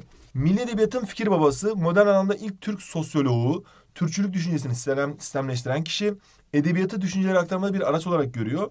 Genellikle hece ölçüsü kullanacak ve sade bir dil kullanacak. Bakın Kızıl Elma Yeni Hayat Altın Işık üniversite sınavında sorulmuş. Türkçülüğün esasları üniversite sınavında sorulmuş. Bunları bir kez daha sorabilirler. Ömer Seyfettin'e baktığımızda olay öyküsünün en büyük temsilcisi günlük konuşma dili var ve Maupassant tarzı öyküler yazıyor. Gözleme önem veriyor. Eserlerinde betimleme değil olay önem verecek. Tabii ki eserleri çok fazla küçük küçük kısa kısa öyküleri var. Efruz Bey gibi, Ashab-ı Kehf'imiz gibi uzun hikayelerini bilelim. İşte birçok öyküsünü sizler de okumuşsunuzdur. Öykülerinden ziyade karakterlerini söylüyor. Çocukluk anılarından bak. Tarihten beslenecek ve çocukluk anılarından beslenecek. Bu da Ömer Seyfettin'in çocukluk anıları. Ömer Seyfettin'in anahtar kelimeleri. Yakup Kadri Karosmanoğlu'na baktığımızda Tanzimat'tan Cumhuriyet'e kadar ki Türk toplumunun değişimleri anlattığı ÖSYM tarafından defalarca sorulmuş. Realist, nehir roman, ilk tez romanlar yazacak ve Yaban Anadolu'ya açıldığı eser Yahya Kemal ile Nevi Yunanlık akımında olacak. Kadro dergisinin kurucularından Tanzimat'tan Cumhuriyet'e kadar dönemi net bir şekilde anlatacak. Bakın bu sayfadan yüzde yüz sınavda çıkacak arkadaşlar. Dolayısıyla burayı iyi bilmenizi istiyorum. Yakup Kadri'nin roman özetleri her sene soruluyor. Şimdi eserleri burada. Zaten eserlerin özetine geçeceğimiz için önce romanlarına geçmeden önce şurayı gösterelim. Birincisi e, Zoraki Diplomat adlı anısı sorulmuş. Erenlerin bağından okunacağın adlı mensur şiirleri eski sınavlarda sorulmuş. Milli savaş hikayeleri, serencam bir serencam hikayeleri eskiden böyle seçeneklerde geçmiş. Ama burası her sene soruluyor. O yüzden dikkat edin. Şimdi Kiralık Konağın ilk roman olduğu sorulmuş. Doğu Batı düzleminde kuşak çatışması anlatılıyor. Naim Efendi ve Seniha. Nur Baba tekkelerin neden olduğu yıkımları anlatıyor. Hüküm gecesi siyasi çatışmaları, Sodom ve Gomorra Hütanike dönemi ahlak çöküklerini anlatıyor. Bunların karakterlerini zaten roman özetlerine geldiğimizde birazdan söyleyeceğiz. Yaban'da milli mücadele yıllarının Anadolu'sunu anlatıyor. Ankara'da Cumhuriyet'in ilk yılları ve kuruluş coşkusu, bir sürgünde Paris'e kaçan Jön Türklerin hikayesi, Panoramada devrimlerin halk yaşayışına yansımaları, Panorama 2'de de Atatürk'ün ölümünden sonraki yılları anlatılıyor. Hep o şarkıda Abdülaziz döneminin toplumsal hayatı. Romanlarındaki ta- tarihsel evrelere baktığımızda hep o şarkı Abdülmecit ve Abdülaziz dönemlerini, Nur Baba 5. Murat ve Abdülhamit dönemlerini, Bir Sürgün Abdülhamit İstibdadı ve Jön Türkleri, Panorama Osmanlı Devleti'nden Cumhuriyete, Sakarya Savaşı sonrası da Ankara oluyor. Şahsiyetinin yansıdığı kahramanlar burası önemli bakın. Kiralık Konak'ta Hakkı Celis ön planda, Nur Baba'da Macit, Hüküm Gecesi'nde Ahmet Kerim, Yaban'da Ahmet Celal, Yaban diyorlar ona. Ankara'da Neşet ve Sabit, bir sürgünde Doktor İmmet önemli şahsiyetinin yansıdığı kahramanlar. Şimdi geldik Reşat Nuri Güntekin'e. Burada birincisi öğretmen kahramanları çok göreceksiniz Reşat Nuri Güntekin'de. Öğretmen kahramanlar. Tabii bu hepsi için geçerli değil ama çoğunlukla öyle. Canlı ve sade bir dil var. Gözleme önem veren, realizmden beslenen bir sanatçı. Tabii ki karakterlerin psikolojik hallerinde başarılı olacak çünkü realist, gözlemci. Eserlerinde aşk ve sosyal konuları işleyecek. Karakterleri de çevre koşulları için aktaran önemli bir sanatçı. Hangi eserleri sorulabilir? Dudaktan Kalbe, Çalık Şu bunların özetlerini birazdan vereceğiz. Acımak, Miskinler Tekkesi, Dilencilik Kurumu'nu anlatıyor. Yeşil Gece, Şahin Efendi, Şahin Bey. Şa e, yaprak Dökümü, e, aynı zamanda e, Kızılcık Dalları, Akşam Güneşi, Damga bunların hepsi sorulabilir. Bir kadın düşmanı yine sorulabilir. Gizli el sorulabilir. Devam ediyoruz. Başka ee, Anadolu Notları adlı gezi yazısı yine sorulmuş. Bunları da bilmemiz lazım. Refik Halit Kara'ya baktığımızda memleket hikayeciliğinin öncüsü Kirpi mahlasıyla yazacak. Realist, mapazan tarzı olay hikayeleri yazıyor. Hikayeleri genellikle üzücü bir akıbetle bitecek ve insanların dürüst olmayan kurnaz ve menfaatçi yönlerini bulup bunun sonucu ister istemez mizah ve eleştiriye yöneliyor. Memleket hikayeleri, gurbet hikayeleri önemli eserleri ve tabii ki İstanbul'un 300'ü, Yezid'in Kızı gibi romanlarını bileceğiz. Bakın burada İstanbul'un 300'ü, Sürgün, Bugünün Saraylısını bilmeniz yeterli diyebiliriz. Kirpi'nin dedikleri adlı mizah hicivinde bilelim. Aydi'de mizah dergisini çıkardığını belki sorabilirler. Geldik Halide Edip Adıvar'a. Burada ka yüceltilmiş kadın kahramanları var, güçlü kişiler. Realist akımında tasvir ve tahlilleri başarılı. İlk romanlarında aşk temasını işleyecek. Sonradan Kurtuluş Savaşı'na yönelecek. Türkçülük akımını benimseyecek. Çıkabilecek romanları birazdan özetlerine vereceğiz. Seviye Talip, Handan, Ateşten Gömlek, Vurun Kahpeye, Sinekli Bakkal defalarca özeti sorulmuş. Tatarcık ve yine Yol Palas Cinayeti önemli eserleri. Burada tabii ki e, Dağa Çıkan Kurt adlı öyküsünü, Mor Salkımlı Ev ve Türk'ün Ateşli İmtihanı anılarını bilmemiz lazım. Maske ve Ruh tiyatrosunda bazen seçeneklerde görebiliriz. ÖSYM sormamış ama. Aka Gündüz'e baktığımızda Dikmen Yıldız adlı eserini bilmemiz yeterli. Ee, ilk hikayelerine Türkçü ve idealist, aynı zamanda romantik, milliyetçi ve idealist kimliği ön plana çıkacak. Dikmen Yıldız'ı Kurtuluş Savaşı ile alakalı. Geldik Mehmet Emin Yurdakulu. Türk şairi ve milli şair, Türkçe şiirler ve eserleriyle memleket şiirinin ölçüsünü yazacak. Ordunun destanı, Türk sazı, tan sesleri, Ey Türk Uyan önemli eserleri. Ali Canip Yöntem, Geçtiğim Yol adlı şiir kitabı, Cenab Şahabettin ile tartışmaları var. Mehmet Fuat Köprülü Türk Edebiyatı'nda ilk mutasavvıflar adlı eseri yazacak. Ahmet Hikmet Müftüoğlu Harisan ve Gülistan'ı yazıyor. Burası önemli. Musabizade Celal'in Köprüler Tiyatrosu. İbrahim Refik, Ahmet Nuri Sekizinci'nin yine aynı şekilde e, ceza kanunu belki sorulabilir. Ama bunların tiyatrocu olduğunu belki seçeneklerde bize gösterebilir. Dönemin bağımsız sanatçılarına baktığımızda Yahya Kemal Beyatlı yine önemli bir sanatçı. Buraya yıldız koyuyorum. İstanbul şairi, e, divan şiirini yeni bir anlayışla neoklasik olaraktan canlandırdığı sorulmuş. Divan şiirine geri dönmüyor. Divan şiirini yeniden canlandırıyor. Ok şiiri hariç bütün şiirlerini Oruz'da yazacak. Ok şiiri de mükemmel bir şiir bu arada. Parnasizm ve sembolizm akımlarından etkilenecek. Bilhassa da Parnasizm olduğunu vurgulamamız daha önemli. Bakın Yahya Kemal eski şiiri canlandırdığı için eserlerine bak şimdi. Eski şiirin rüzgarıyla kendi gök kubbemiz. Bak kendimiz yani başka bir şiir şey. Kendi gök kubbemiz. Rubaylar ve Türkçe e, ve Hayyam Rubaylar'ın Türkçe söyleyiş. Yine İstanbul şairi olduğu için Aziz İstanbul'a bakabiliriz. Burada siyasi ve edebi hatıralar anısında bilmemiz lazım. Mehmet Akif Ersoy önemli bir sanatçı. Yine mutlaka bilmemiz gereken seçeneklerde görme ihtimalimizin yüzde yüz olduğu bir sanatçı. Sırat-ı Mustakim dergisinde yazacak ve Sebilür Reşat dergisinde yazacak. Halkın yaşayış tarzını eserlerine yansıtacak. Şiirde hayal değil gerçeği esas alacak. Ee, hayır yoktur hayal ile alışverişim. Ne yazdıysam görüp de e, söylemişim diyor. Dolayısıyla dizeleri yer yer kırarak şiiri düz yazı yaklaştıracak. Nazmı Nesri yaklaştıracak. Tevfikret gibi. Şiire aruzu Türkçe'ye mükemmel bir şekilde uygulayacak. Tevfikret gibi diye sorulmuş. Safahat'ın bölümleri bunlar arkadaşlar. Mehmet Akif Ersoy İstiklal Marşı'nı bize armağan ettiği için, milletimize armağan ettiği için içerisinde İstiklal Marşı'nın olmadığını bilmemiz lazım.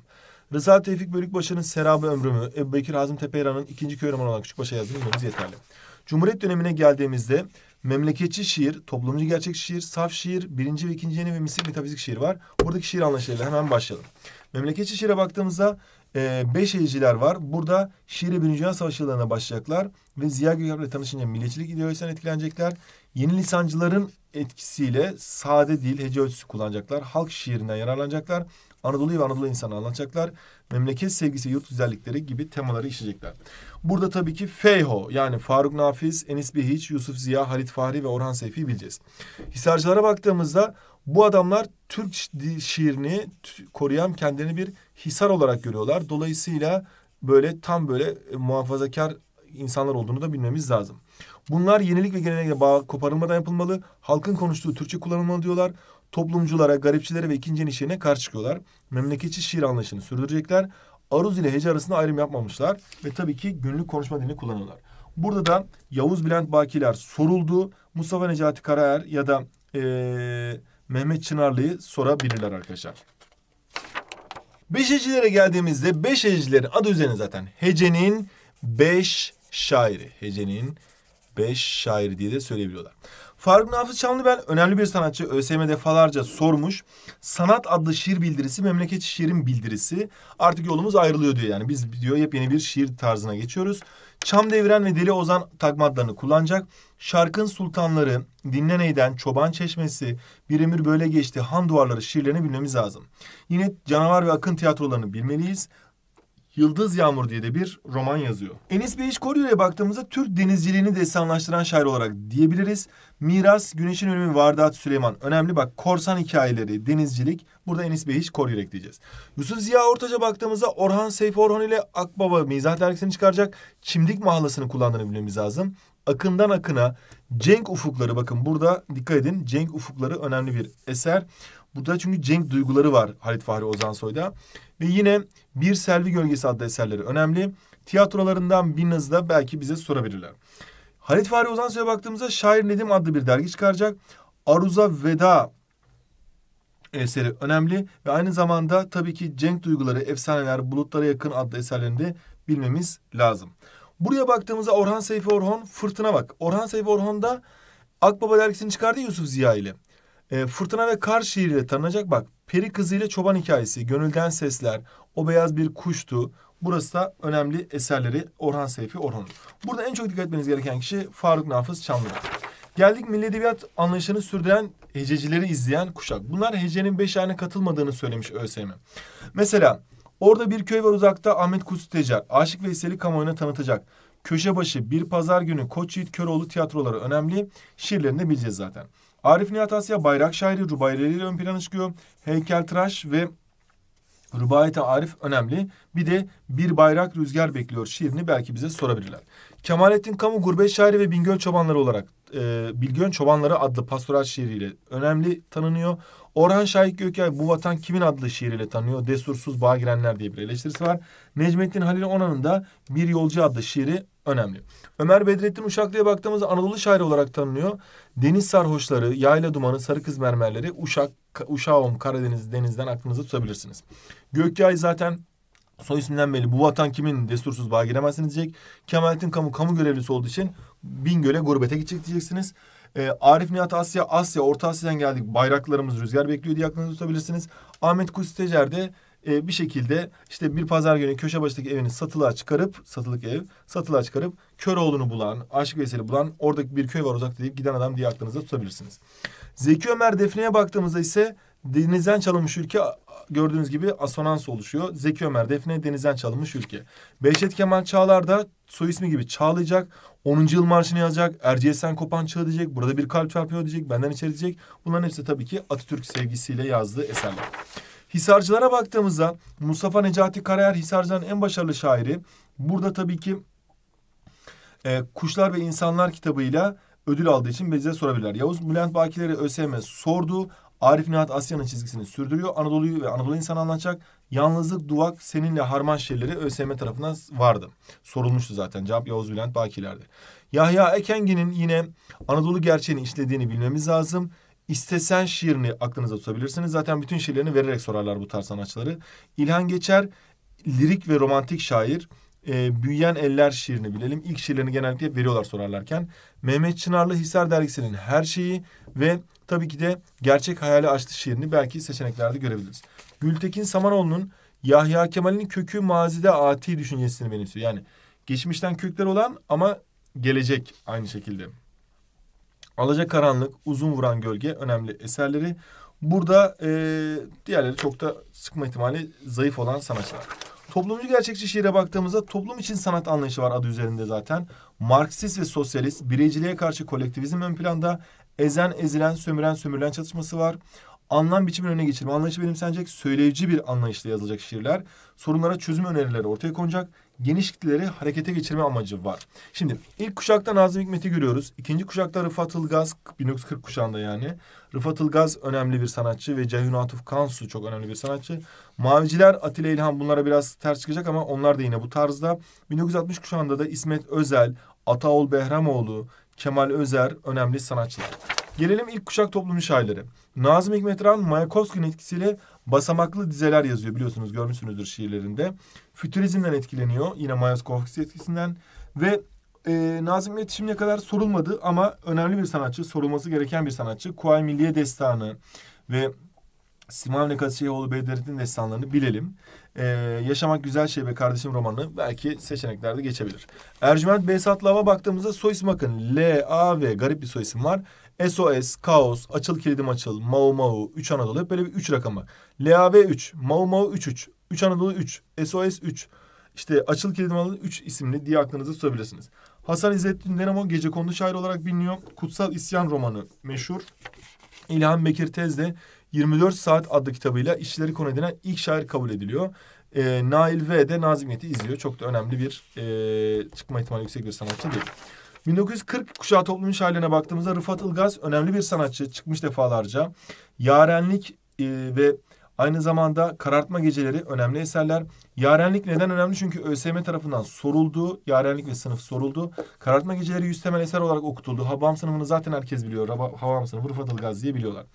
Ceyhun Atıf Kansu çocuk kelimesi aklınıza gelecek Ceyhun Atıf Kansu görünce. Kendisi bir çocuk doktoru. Dünyanın bütün çiçekleri şiiriyle tanıyor.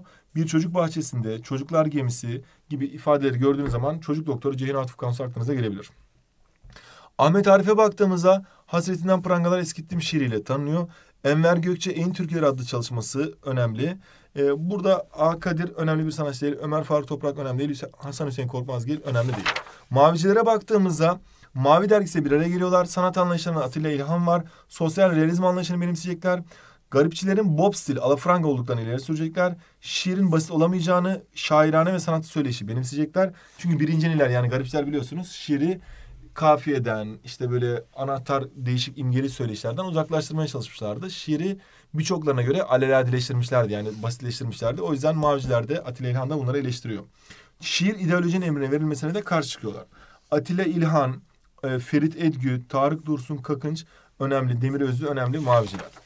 Atilla İlhan'a baktığımızda halk ve divan şiirlerine yararlanıyor. Cebbaroğlu Mehmet şiiriyle ikincilik ödülü alıyor. Duvar, Sisler Bulvarı, Yağmur Kaçağı, Ben Sana Mecburum bunlar önemli şiirleri.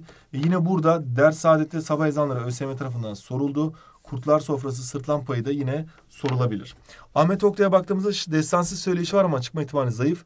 Tarık Dursun'un Güzel Avrat Otu ile 1961 Türk Dil Kurumu armağanı kazandığını bilelim. Belki seçeneklerde gözükür. Demir Özlü yine e, bunaltı, soluma, buğuntulu sokaklar böyle bunalım temalarını işliyor. Tahsin Yücel de Mavi Hareketi'nin öykücüsü. Geldik buraya. Militan, 1960 sonrası toplumcu gerçekçi şiir.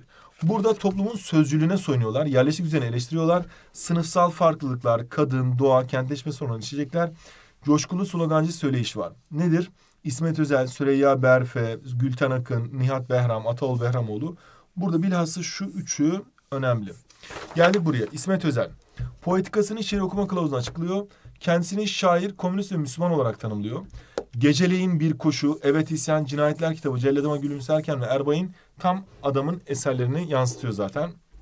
Süreyya Berfe'nin Günola Savrulan adlı şiirlerini belki bilim, sorabilirler. Gülten Akın'ın Türk şiirinde kadın duyarlılığını toplumcu gerçekçi formada oturttuğunu bilelim. Burada Maraş'ın ve Ökkeş'in destanı şiirini sorabilirler. Atol Behramoğlu haksızlık, sömürü, özgürlük temalarını işiyor. Bir Ermeni general bir gün mutlaka yolculuk, özlem, cesaret ve kavga şiirlerini belki bize topluca verebilirler. Nihat Behram'a baktığımızda birkaç şiiri var. Çıkma ihtimali zayıf. Refik Turbaş'ın çıkma ihtimali zayıf. Özkan Mert'in çıkma ihtimali zayıf.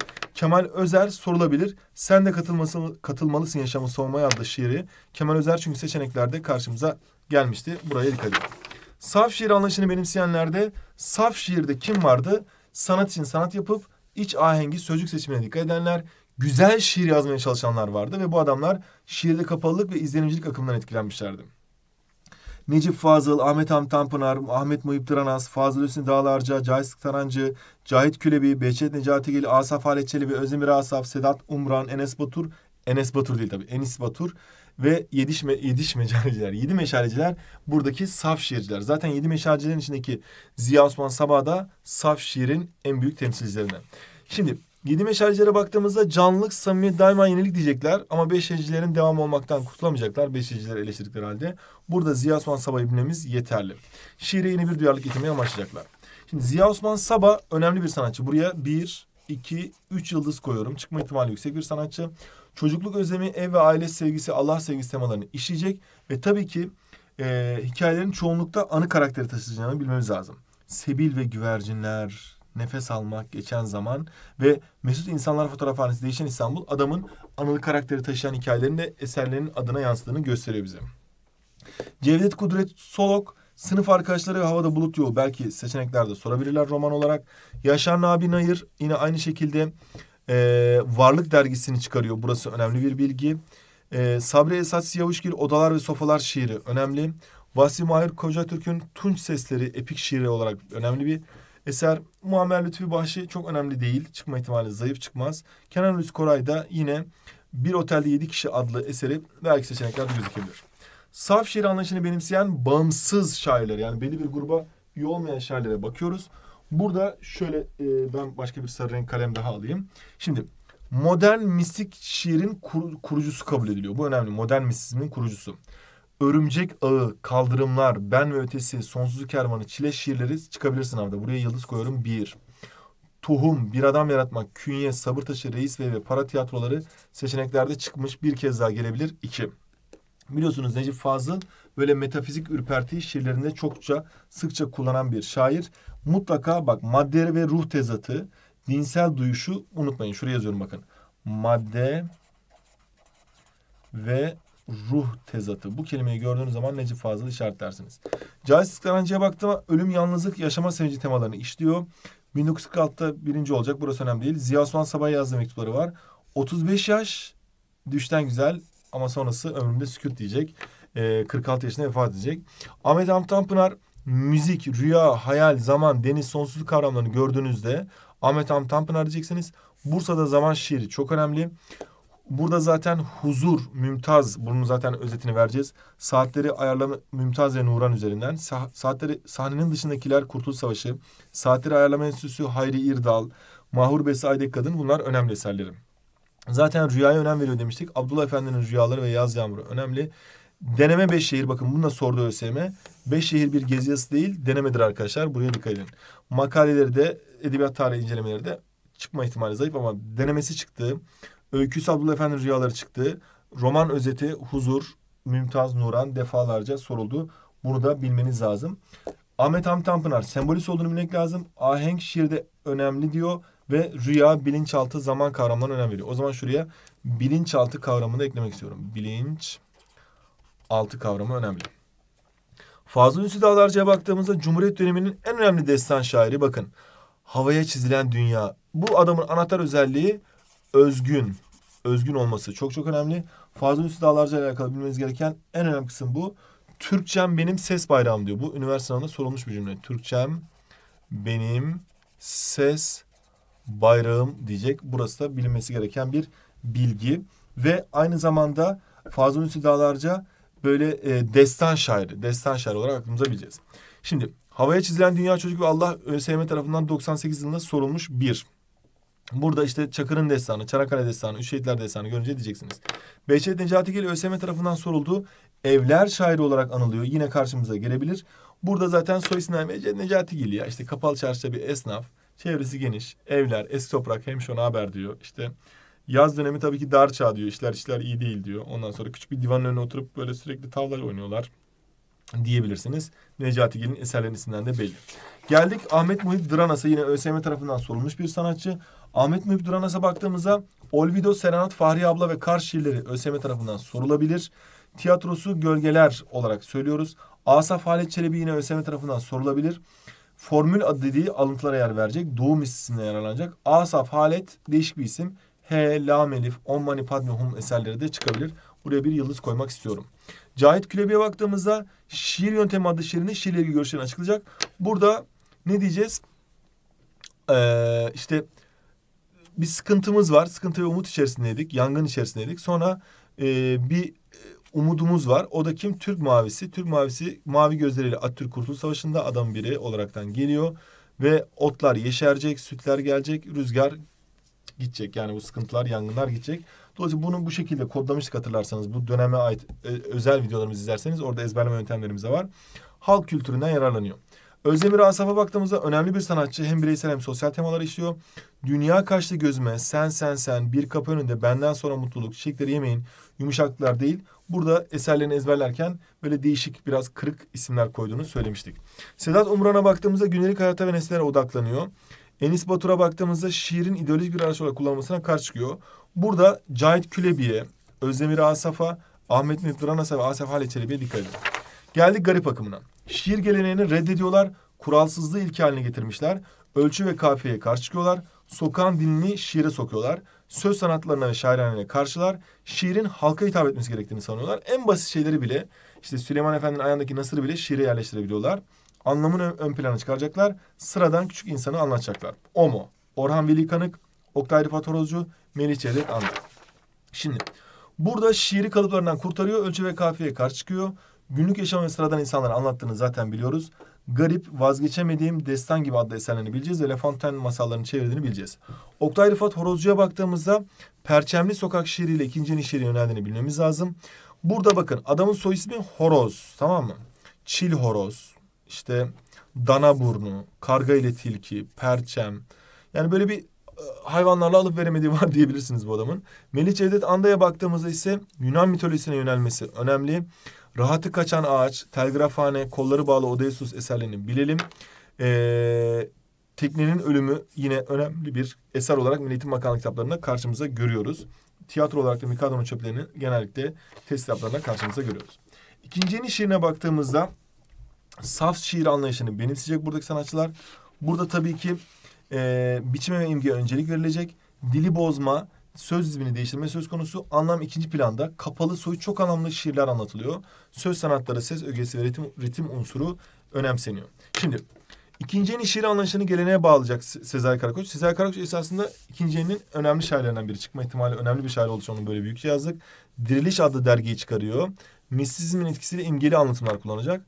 Burada bakın Taha'nın kitabı, e, Leyla ile Mecnun, Mona Rosa ve Körfez adlı eserlerini mutlaka bilin arkadaşlar. İkincini nasıl kodluyorduk hocam? Ceseti diye kodluyorduk. Ceseti. Kim? Cemal Süreyya, Edip Cansever, Sezai Karakoç, e, Ece Ayhan, Turgut Uyar, İlhan Berk diyebiliriz. E, Ülkü Tamer, Ceseti diye aklımızda tutabiliriz. Şimdi geldik buraya. İlhan Berk, Türk Edebiyatı'nın en deneyici şairlerinden cinsellik temalarına odaklanıyor.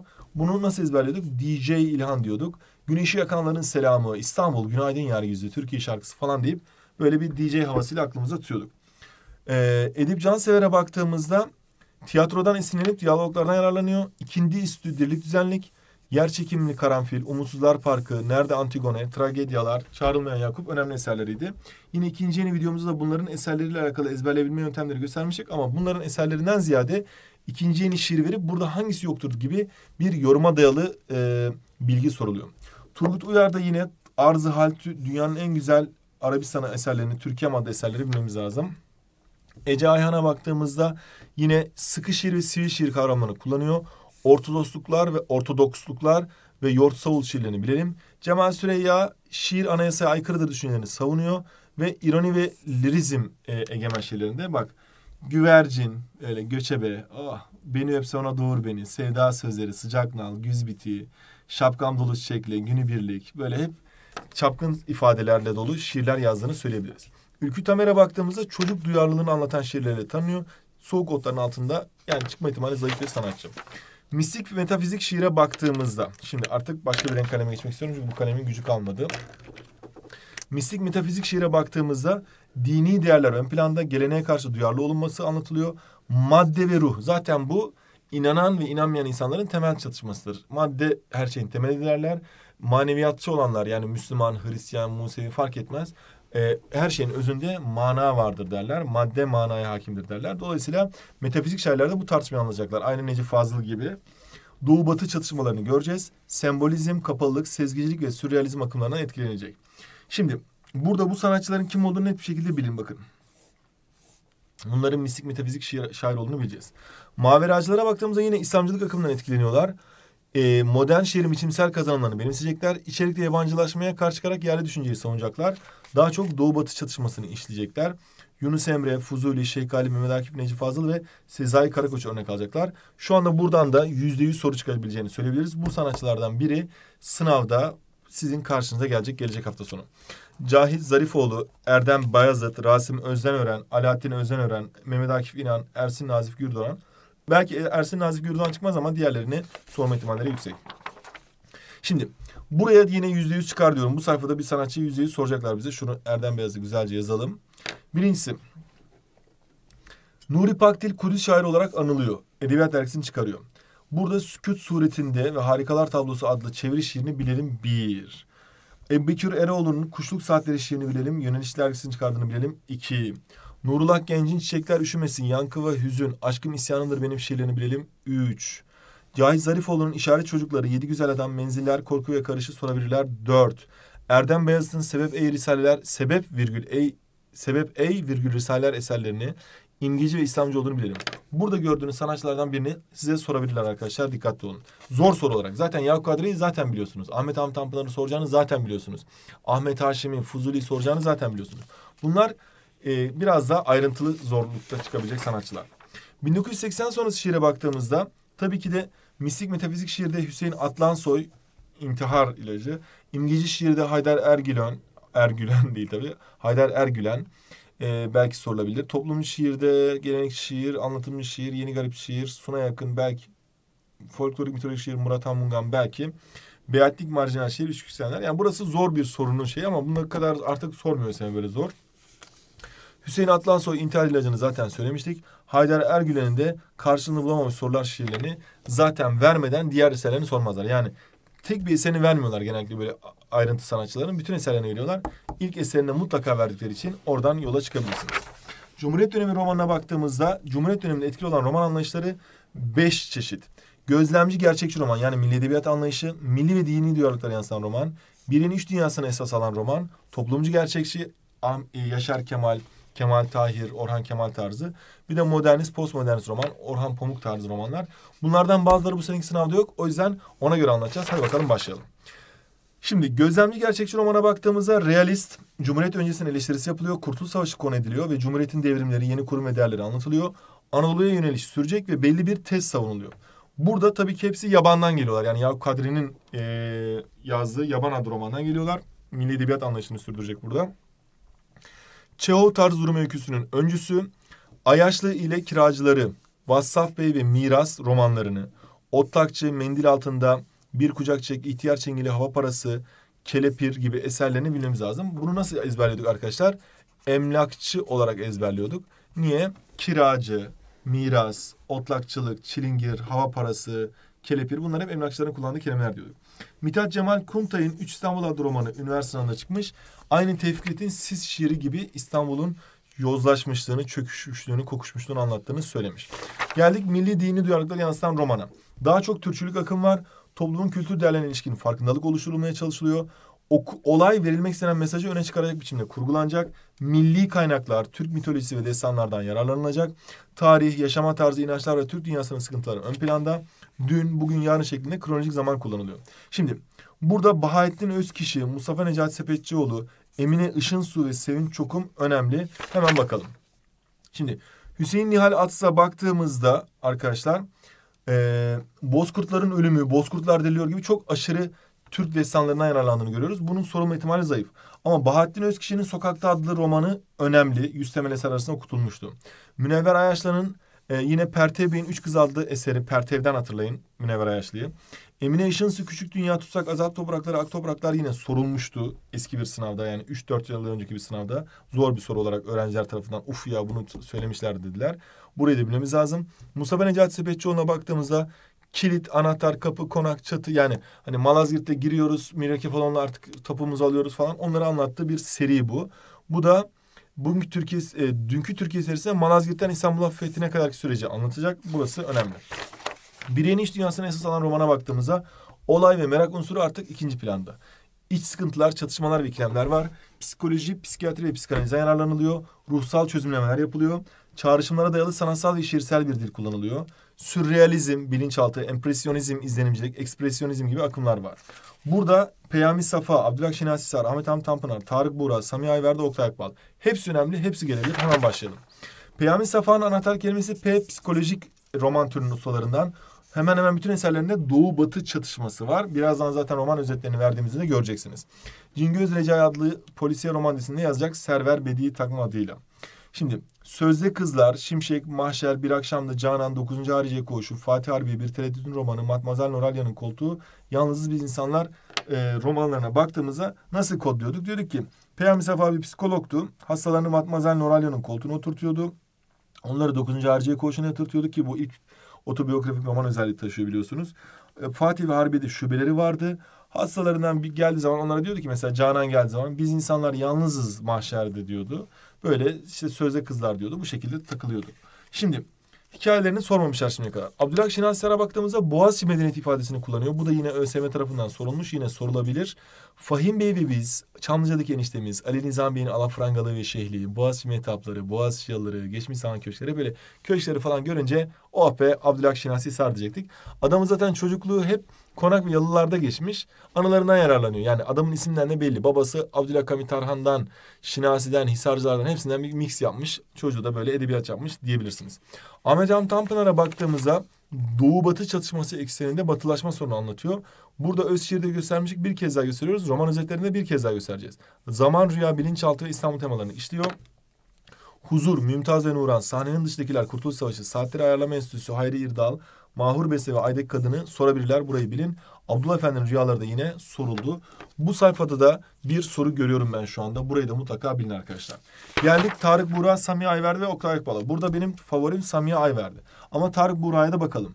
Tarihi, siyasi olayları, toplumsal çatışmaları ele alıyor. Kişileri ait olduğu sosyal çevrelerine göre uygun biçimde konuşturuyor. Küçük Ağa, Osmancık, Siyah Kehri var. İbiş'in Rüyası, Gençliği Meyvat, Dönemeç'te Dünyanın En Pis Sokağı, Yağmuru Beklerken, Yalnızlar ve Firavun iman diyoruz. Burada hatırlarsanız ne yapıyorduk? Bir tane çocuk vardı hani bu şey Küçük Ağa'da oynayan çocuk. Başka zamanda Osmancık Osman rolüyle başka bir dizi oynadı demiştik. Onun ailesiyle yaptığı diyaloğu şeklinde aklımıza tutmaya çalışıyorduk Tarık Buran eserlerini. Ailesi ona diyordu ki oğlumuz yarın diye bir şey yoktur. İki uyku arasındasın. Burası dünyanın en pis sokağı diyordu yani senin Cihangir dizilerde oynamak istediğin sokak. Oysa ayakta durmak istiyorum. Üç oyunla sahibini arayan madalya sıfırdan dura çıkmak istiyorum gibi şeyler söylüyordu. Aile ise bak İbiş'im, İbiş gibi rüya görüyorsun. Gençliği meyvat dersin. Şu anda dönemeçtesin. Dünyanın en pis sokağındasın. Yağmuru beklerken yalnızlar olursun. Şimdi küçük ağa, Asmancık gibi böyle roller, dizilerde oynuyorsun ama sonra tam bir ibiş durumuna düşersin. Siyah kehribarım diye ailesi onu uyarıyordu. Samiye Ayver diye bunların özetlerine geleceğiz buradan önemli olanlara. Bilhassa Osmancık, Kurtuluş, şey, e, Osmanlı Devleti'nin kuruluşu ve Küçük Ağa Kurtuluş Savaşı ile alakalı eserler önemli. Şimdi Samiye Ayver diye baktığımızda tasavvuftan, rufailik tarikattan etkilenecek. Doğu Batı çatışması ve eski İstanbul kültürü, yalı ve konak hayatını anlatacak. Aşk Bu imiş adlı eseri, Batmayan Gün adlı eseri, Mabette Bir Gece, e, İnsan ve Şeytan, Son Menzil, Yolcu Nereye Gidiyorsun, Mesih Paşa İmamı, İbrahim Efendi Konağı önemli eserleri. Bunları sorabiliyorlar. Bunları nasıl ezberliyorduk? Diyorduk ki yani böyle bir vefat etmek üzere olan son dakikalarını yaşayan birine diyorduk ki sen artık yaşayan ölüsün. E, son menzildesin. Yolcu nereye gidiyorsun yani artık öbür tarafa gidiyorsun galiba. Konakta İbrahim Efendi konağında. Hemen Mesih Paşa İmamı'nı çağırıyorlar. O da ona bazı dualar ettikten sonra o da aşk budur diyor. Hangi aşk? İlahi aşk. Zaten bu e, kadın da Samiye Ayverdi de bu sanatçımız da zaten hep ilahi aşktan, tasavvuf aşkından bahsediyor. Oktay Akbal'a baktığımızda geçmişle özlem temasını işleyecek. Garipler sokağı, suçumuz insan olmak, batık bir gemi, önce ekmekler gibi sanki böyle toplumculuk, ekmekçilikten bahsediyormuş gibi düşünebilirsiniz. Ama esasında bu sanatçımız da tabii ki hangi gruba giriyor? Hatırlayalım. Bireyin iş dünyasına giriyor. Geldik toplumcu gerçekçi romana. Burada temel çatışmalar A köylü, öğretmen imam, halk yönetici, patron işi, zengin fakir, kapitalist sosyalist, güçlü güçsüz, aydın cahil, ileri gerici. Bunları gördüğünüz zaman hemen diyeceksiniz ki bu toplumcu gerçekçi. Niye? Marksizm ve sosyalizm ideolojileri var. Toplum için sanat anlayışı var. Gözleme dayalı bir anlatım var. Köye ve köylüye yönelme var. Aynı zamanda büyük şehirlerde göçün yaptığı sorunları, çıkardığı sorunları anlatacaklar. Halkı aydınlatma amacı güdülüyor ve kişiler genellikle yöresel ağızlara göre konuşturuluyorsa bu hemen toplumcu gerçekçi roman diyeceksiniz. Yazar aynı zamanda okurları kendi düşünceleri doğrusuna yönlendirmek istiyor. Burada tabii ki kimler önemli derseniz hepsi önemli ama ben altını çizeyim benim favorilerim. Sabahattin Ali favori derken sınavda çıkma açısından favorilerim. Fa Sabahattin Ali, Orhan Kemal, Kemal Tahir, Yaşar Kemal ve aynı zamanda hani Karnas balıkçısı ve Necati Cumalı, Abbas Sayar çok önemli sanatçılar. Samim Kocagöz yine önemli. Ee, Orhan Hançerlioğlu'nda yine sorma ihtimallerinin olduğunu düşünüyorum. Hemen başlıyoruz. Şimdi Sabahattin Ali'ye baktığımızda hemen böyle bir bir, iki, üç, dört yıldız koyalım. Değirmen, Kanı, Ses, Yeni Dünya, Sırça Köşk adlı öyküleri sınavda çıktı çünkü. Kuyucaklı Yusuf, İçimizdeki Şeytan, Kürk Mantolu Madonna romanları üniversite sınavında çıktı çünkü. Sadri Ertem'e baktığımızda buraya 3 yıldız koymak istiyorum. Buraya başka bir renkle göstereyim. Buraya 2 e, yıldız koyalım hatta. Çıkrıklar durunca yine ilk ör- örneklerinden biri toplumcu gerçekçi romanın. Bir varmış bir yokmuş düşkünler ve yol arkadaşları önemli. Hikayelerinden de silindir şapka giyen köylüyü hatırlasanız yeterli. Orhan Kemal'e baktığımızda bir, iki, üç, dört, beş yıldız koyuyoruz. Çıkma ihtimali çok yüksek. Ee, Orhan Kemal'in e, ve e, şeyin nedir onun adı?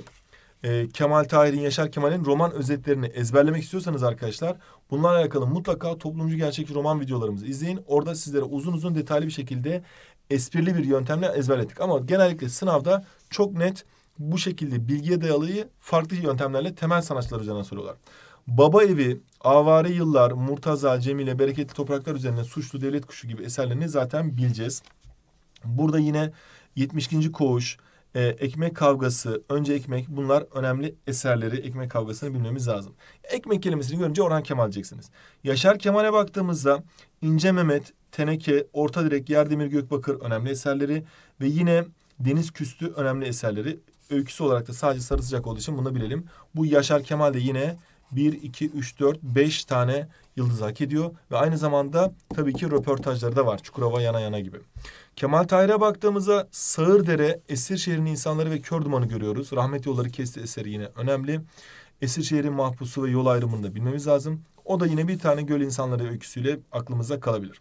Fakir Bay Kemal Tahir'in çıkma ihtimali 5 yıldız arkadaşlar. Şöyle 5 yıldızımızı koyalım. Başka bir kaleme geçmek istiyorum. Fakir Baykurt'a baktığımızda yılanların öcü yine sorulmuş. 10. köy ve Amerikan sargısı sorulabilir. Burada yeterli bu sanatçımız için. Halikarnas balıkçısına baktığımızda 4 yıldız hak ediyor. ÖSYM tarafından bir iki kez soruldu. Bir kez daha gelebilir. Eski bir sınavda sorulmuş çünkü. Aganta, Burina, Burinata ve Ötelerin Çocuğu, Uluç Reis ve Turgut Reis önemli eserler. Burada deniz, Akdeniz mitolojisi, Ege mitolojisi önemli. Zaten Bodrum'a sürgüne gönderiliyor. Ondan sonra bu tarz şeyler yazıyor. Necati Cumalı'ya baktığımızda Ege'yi anlattığını bileceğiz. Ege insanı anlattığını bileceğiz. Tütün Zamanı, Yağmurlar ve Topraklar, Acı Tütün, Aşkla Gezer romanlarını bize ÖSYM sorabilir. Hocam Ege yazdınız, yıldız koymadınız derseniz buraya da 1, 2, 3, 4, 5 yıldız koyabiliriz Necati Cumalı için. Talip Apayda'nın Sarı Traktörler ve tabii ki Tozman için neyi bilelim.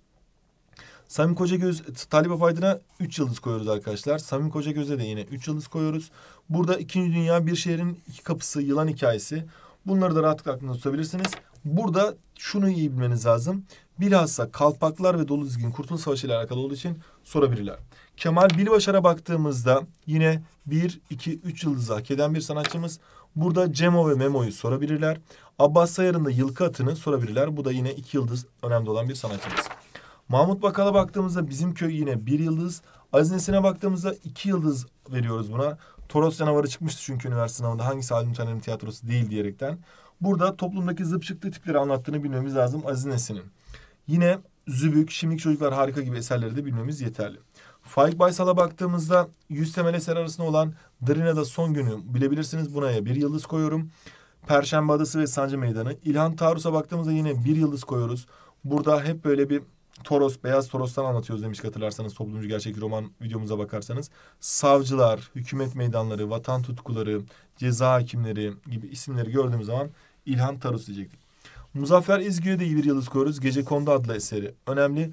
Dursun Akçam'ın da Kanlıdere'nin kurtları ve Öle Ekmeği öyküsünü bilmemiz yeterli. Modernist ve postmodernist romana baktığımızda modernizme esas alan romanın genel özelliklerini görmemiz lazım öncelikle. Varoluşçuluk akımı yani Sartre'den etkilenecekler. Bireyin kendisiyle doğayla ve toplumla olan çatışmaları yansıtılacak. Sıradanlığa bir isyan var. Olay örgüsü, mekan, merak unsurları arka planda. İç konuşmalar, bilinç akışları ve geriye dönüş gibi teknikler kullanılacak. Burada Nezihe Meriç bir yıldız, Yusuf Atılgan iki yıldız, Bilge Karasu bir yıldız, Feride Edgü bir yıldız, Demir Özlüğü Geç, Oğuz Atay dört yıldız çıkma ihtimali açısından, Firuzan iki yıldız, Adalet Ağaoğlu dört yıldız, Selim İleri bir yıldız, Razim Özeneren de yine dört yıldız olarak hatta beş yıldız veriyorum. Bunun sorulma ihtimalinin yüksek olduğunu düşünüyorum. Şimdi postmodern romanın genel özelliklerine baktığımızda kronolojik akış kırılıyor ve neden sonuç ilişkisi ortadan kaldırılıyor. Modernist ve postmodernist roman arasında fark var. Burada fantastik bir dünya var. Tarihi gerçeklik yeniden oluşturuluyor. Romanın kurmacı olduğu okura hissettiriliyor. Yazar kişiliğini gizleye okurla sohbet ediyor. Burada da yine metinler arasılık, üst kurmaca, kolaj, pastiş, parodi gibi teknikler var. Burada yine Oğuz Atay çok önemli. Buraya bir yıldız koyuyorum. Orhan Pamuk yani 80 sonrasındaki eserleri daha fazla olduğu için çıkma ihtimali zayıf. Ee, Selim İleri yani Buket Uzuner belki hani bu kadar. Şimdi Nezihe Meriç'e baktığımızda öncelikle buraya Nezihe Meriç'te bir yıldız koyuyoruz. Burada Korsan Çıkmazı adlı tiyatrosu ve Boz Bulanık Duman Altı hikayelerini bilebiliriz. Yusuf Adılgan'a bak bunları da yine top, e, postmodern roman e, postmodern ve modern romanları ezberletirken yöntemlerimizi merak edenler izleyebilirler o videolarda özel olarak eğer ezberlemedilerse bu bir tekrar videosu. Hani Meriç Nehri üzerinden gidiyorduk. Korsanlar takılıyordu. Buraya giriyorlardı Meriç Şehri'ne. Çıkmaz oluyordu onlar için. Boz bulanık ve duman altı bir yerde sular aydınlanıyordu falan. Meriç Nehri'nden gidiyorduk. Yusuf Atılgan'ın Aylak Adam ve Anayurt Oteli çıkmış. Roman özetlerine birazdan göreceğiz. Zebercet karakteri bilhassa Anayurt Oteli'nde. Ee, Bilge Karasu'da Troya'da ölüm vardı ve Göçmüş Kediler Bahçesi. Kedici bir adam bunu bilmemiz lazım. Bunlara birer yıldız koyuyorum. Demir Özlü bir uzun sonbahar. Yıldız bile koymuyorum. Ferit Edgü kimse o bir yıldız koyuyorum. Çıkma ihtimali var. Firuzan'a iki yıldız koyuyorum. 47'ler ve Parası Yatılı adlı eserleri önemli. Adalet Ağoğlu'na dört yıldız koyuyoruz. Çünkü e, Bir Düğün Gecesi, Ölmeye Yatmak ve Fikremin İnce Gülü adlı romanları önemli. Ve aynı zamanda Yüksek Gerilim, Sessizliğin İlk Sesi adlı öykülerini de bilmemiz lazım. Leyla Erbil'in tuhaf bir kadın yani. Tuhaf bir kadın, tuhaf bir adam gibi eserleri var. Bunu bilmemiz belki çıkma ihtimali olabilir. Oğuz Atay'a yine 1, 2, 3, 4 yıldız veriyoruz. Tutunamayanlar, Tehlikeli Oyunlar ve Bir Bilim Adamı'nın romanı, İTÜ'nün kurucu rektörü Mustafa İnan hayat hikayesi. Bunların da özetleri birazdan göreceğiz. Ve Korkuyu Beklerken'i bilmemiz lazım. Selim ileri çıktı o yüzden bir yıldız daha veriyorum. Her Gece Bodrum e, ve yine aynı zamanda Cumartesi Yalnızlığı, Pastırma Yazı gibi eserleri bileceğiz. Nazlı Eray e, fantastik öğelere yer veriyor. Rasim Özeneren'e 1, 2, 3, 4, 5 yıldız koyduk. Gül yetiştiren adam romanı önemli. Çözülme, çarpılmışlar, hastalar ve ışıklar önemli hikayeleri. Burayı bilmemiz lazım Rasim Özeneren gelir. Cumhuriyet dönemi hikayesine baktığımızda yine bir gözlemci gerçekçi hikaye var. Milli edebiyat anlayışını sürdüren hikaye. Milli ve dini duyarlılıkları yansıtan hikayeler var. Bireyin iş dünyasına esas alan hikayeler var.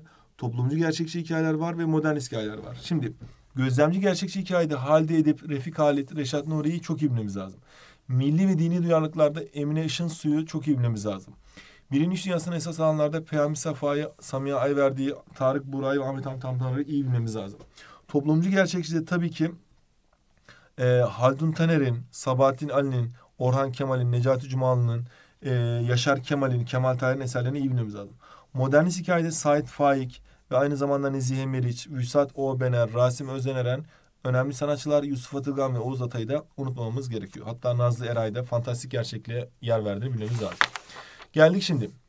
Burada Fahrettin Celalettin yani burada çıkma ihtimali zayıf. Osman Cemal Kaygılı'nın çıkma ihtimali zayıf. Selahattin Enis'in belki yani bataklık şey belki sorulabilir.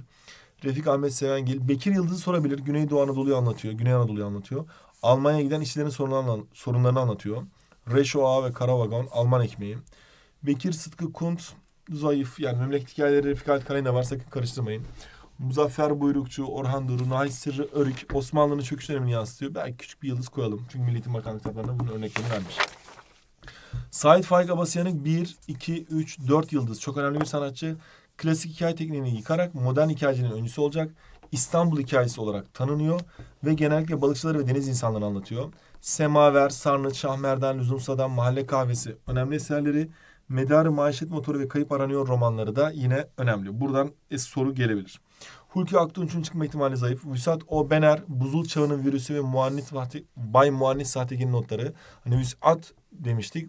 Muannit virüs diye ezberleyin demiştik ve Bener'in B'sinden Beşiktaşlı olduğunu, işte siyah beyaz, kara tren, mızıkalı yürüyüş, işte Dost Yaşamaşız gibi eserler söylemiştik. Necati Tosun'un çıkma ihtimali zayıf. Murat Yalçın'ın zayıf. Tomris Uyar'ın çok zayıf. Mustafa Kutlu'ya 1, 2, 3, 4, 5 yıldız koyuyoruz. Öğretmen kısa gelenin altın imkanlarına yararlanıyor. Bakın bir edebiyat hocası olduğu için yine tabii ki böyle mütevazi bir hayat var bizimki gibi. Ne diyor? Ya tahammül ya sefer. Bu böyledir diyor yani. Yani ortadaki adamım diyor yani. Gönül işi diyor. Bu iş yokuş akan sulardır diyor yani. Yokuş akıyor yani. Zor, sıkıntılı diyor. Uzun hikaye diyor. Ne anlatayım ki diyor yani. Hüzün ve tesadüf gibi. Bu tarz bir edebiyat hocasının konuşması zihninize canlanacak Mustafa Kutlu'ya beş yıldız koyduk. Geldik Cumhuriyet dönemi tiyatrosuna.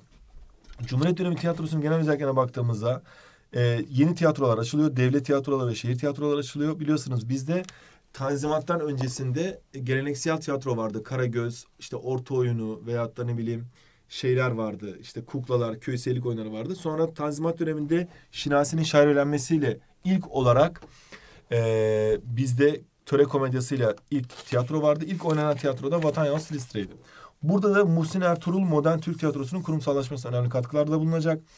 E, farklı farklı yine Haldun Taner e, ilk epik tiyatro yazacak. Kabare tiyatrosundan e, kabare tiyatrosunun kurucularından olacak. Bunları da bilmemiz lazım. Şimdi Vedat Nedim Tör'ün İşsizler adlı eserini bilelim. Necip Fazıl Kısaküre'nin Bir Adam Yaratmak, Para, Tohum Bey, Siyah Pelerin Adam, Reis Bey'i bilelim. Para, Tohum, Siyah Pelerin Adam ve Reis Bey'i bilelim. Burada yanlış söylemiş olmayayım. Abdülhamit Han da yine önemli bir eseri Necip Fazıl Kısaküre'nin. Ee, buradan yüzde yüz soru gelir arkadaşlar. Bu sayfaya şöyle bir şunun üstüne koyarsam daha iyi. Bu sayfadan bir soru gelir tiyatrodan soru soracaklarsa.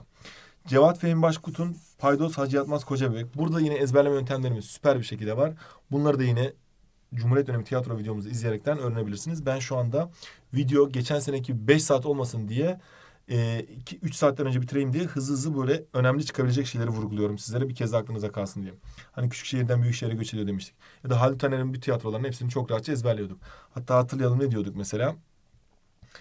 Ee, astronot Niyazi ve Zilli Zarife ay ışığında şamata yapmak istiyorlardı böyle. Dekorumuz deniz derya, mevzumuz aşkı sevda, dekorumuz deniz derya diyorlardı. Ondan sonra yar bana bir eğlence deyip başlamak istiyorlardı ama huzur çıkmaz oluyordu. Yapamıyorlardı. Çünkü Sersem Koca'nın kurnaz karısı e, Zilli Zarife'de yani Sersem Koca kim? Astronot Niyazi. Onun kurnaz karısı Zilli Zarife'de huzur çıkmazı olunca onu Fazilet Eczanesine gönderiyordu. Git diyordu orada seni Vatan Kurtaran Şaban karşılayacak. Sana yardımcı olacak. Vatan Kurtaran Şaban da hayırdır inşallah ya diyordu. Bizim astronot Niyazi lütfen dokunmayın. Dünden bugüne çok değiştin diyordu dün bugün. Yalan dünya diyordu yani. Gün adam olmak istersen isterken rezil oldum diyordu. Vatan Kurtaran Şaban da Fazilet Eczanesinde ona yardımcı oluyordu. Eşeğin gölgesi, dev aynası, e, gözlerimi kaparım, vazifemi yaparım haline getiriyordu ve değirmen dönüyordu. Şimdi böyle saçma sapan bir yöntemle sizin aklınızda tutabiliyorduk. E niye böyle bir rezilliğe e, perde oluyorsunuz hocam? Daha doğrusu rezilliğe ışık tutuyorsunuz. Çünkü üniversite sınavında net soru 2015'te diyor ki aşağıdakilerden hangisi alternatif tiyatrolarından biri değildir? Fazilet Eczanesi, işte ne bileyim lütfen dokunmayın, işte Keşanlı Ali Destanı ki ilk epik tiyatro bu çok çok önemli. Buraya beş yıldız koyuyorum. İşte seçeneklere Toros canavarını koyuyor mesela yani. Şey Aziz Nesin'in eserini koyuyor. Sen diyorsun ki bu dört tanesi Halil Taner'in bir tanesi Aziz Nesin. Burada öyküleri de önemli yine. Yaşasın demokrasi, tuş, şişhaneye yağmur yağıyordu, ay ışığında çalış kur, 12'ye 1 var, Sancho'nun sabah yürüyüşü, Yalda sabah. Bunlar da yine önemli eserler. Selahattin Batu önemli değil. Recep Bilginer'de yine Recep Tayyip Erdoğan'a yola çıkıyorduk hatırlarsanız. İşte parkta bir sonbahar günüydü. Ben devletim, isyancılar, utanç dünyası, gazeteciden dost, sarı naciye, politikada bir sarı çizmeli bir zamanlar. Bir zamanlar önemli değil de bunu şöyle kafanız karıştırmasın. Bu şekilde esprili bir şekilde aklımıza tutabiliyorduk. Güngör Dilmen'de Midas ve Midas'ın kulakları aklımıza gelecekti. Ee, canlı maymun lokantası diyorduk Güngör Dilmen'e kulaklar çok büyük olunca eşek kulağı gibi. Oflazoğlu'nda Osmanoğlu'ndan yola çıkıyorduk. Bizans düştü, 4. Murat, Deli İbrahim, Fatih, Kanuni hep böyle Fatih'le alakalı isimler vardı. Yine bir günlü halde vardı aynı zamanda Namık Kemal'in günlü halini canlandırmış gibi diyordum. Cahit Atay'ın da yine kırlangıçlarını belki seçeneklerde görebiliriz. Orhan Asena yine önemli bir sanatçı çıkacak olursa. Burada Refik Erduran, Necati Cumalı, Turgut Özakman ve Orhan Asena'nın altını çiziyorum. Bunlar çıkabilir demek istiyorum arkadaşlar. Ama buradan da soru gelebilir. Tiyatrodan soru gelirse. Şimdi tanrılar ve insanlar soruldu. Hürrem Sultan soruldu. Burada Gılgamış destanından ses, e, esinlenildiğini anlattılar. Fadik kız yine sorulabilir. Tohum ve toprak yine sorulabilir arkadaşlar. Burada gecenin sonu bir fındık düşü dalından da bilmemiz lazım. Atçalı Kel Mehmet'te de TRT ödülü alıyor. Turgut Özakman yine soruldu. Buraya Orhan Asena, Refik Duran, e, Refik Erduran, Turgut Özakman ve Necati Cumal'ın altını çizdim. E, burada mesela duvarların ötesini sordular. Turgut Özakman'ın yine aynı şekilde. E, Kanaviçe, Ocak ve aynı zamanda Tufan bunlar önemli eserleri, önemli tiyatroları. Sabahattin Kudret Aksal'ın yani hikayelerinden Gazaz Ağacı yüz temel eser olarak okutulmuştu. Şiirinden Şarkılı Kahvesi belki sınavlarda çıkabilir. Tiyatrolarında sorarken bu eserlerinden de yer vereceğini düşünüyoruz. Oktay Ayaracı'nın dışarıda yağmur varını bir şekilde seçeneklerde görebilirsiniz. Necati Cumalı'nın Boş Beşik e, ve Yaralı Geyik adlı tiyatroları önemli. Refik Erduran'a baktığımızda Er durmuyordu hatırlarsanız. Deli, Bir Kilo Namus, Cengiz Han'ın bisikleti, Turp Suyu, Canavar Cafer, işte Ayı Masalı, Kartal Tekmesi böyle garip garip isimler vardı. Başar Sabuncu'nun da kargalarını belki bize sorabilirler. Tuncer Cücenoğlu'nun sorulma ihtimali zayıf. Yine de kör dövüşünü söyleyelim. Cumhuriyet dönemi öğretici metinlerine baktığımızda makalede Ahmet Hamdi Tanpınar edebiyat üzerine makaleler. Mehmet Kaplan yine makaleleriyle biliniyor. Berna Moran yine makaleleri önemli. Fıkrada bakın bunlar Milliyetin Bakanlığı'nın e, kitabından alınmış, kazanımlarından alınmış ifadeler. Dolayısıyla çıkarsa bunları sorabilirler. Yusuf Ziya Ortaç'ın Beşik ve Ocağı, Arif Nihat Asya'nın Kanatlar ve Gagaları, Orhan Seyfi Orhan'ın Dün Bugün Yarını sorulabilir. Sohbete baktığımızda Nurullah Ataç'ın söyleşileri, Şevket Radon'un Eşref Saati, Suud Kemal Etkin'in edebiyat konuşmaları önemli. Nurullah Ataç günlerin getirdiği, Suud Kemal Etkin günlerin götürdüğü, Sabahattin Eyüboğlu Mavi ve Kara, Anadolu Hümanizmini yazan kişi, bu doğuran kişi. Ahmet Han Tanpınar'ın beş şiiri önemli. Bunlar çıkabilecek eserler. Deneme türünü sorarlarsa arkadaşlar. Geldik röportaja. Burada Yaşar Kemal Çukurova yan yana, yana yana özür dilerim. Bir bulut kaynıyor. Peri bacaları bu diyar baştan başa. Önemli arkadaşlar. Peri bacalarını çizelim şöyle. Fikret Otyam Habu Diyar. Fa, Tahir Kutsi Makal yani zor. Necmi Onur, Celalettin Çetin, Halil Atik bunlar zor ama Yaşar Kemal sorulabilir. Eleştiriye baktığımızda Orhan Şahin Gökyay Destursuz Bağ Girenler ee, yine belki sorulabilir biliyorsunuz. Ee, bu vatan kimin diyordu Orhan Şahin Gökyay. Mülakata baktığımızda yine e, Hikmet Feridun Esin bugün ne diyorlar ki diye Ruşen Eşref Ünaydın'a bir nazire yapmış gibi duran eserini söyleyebiliriz.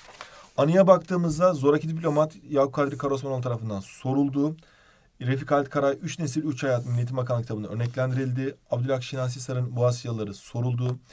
Halid Edip Adıvar'ın Türk'ün Ateşli İmtihanı ve Mor ilgili sorulabilir. Fahri Rıfkı Atay Çankaya soruldu. Buralar önemli.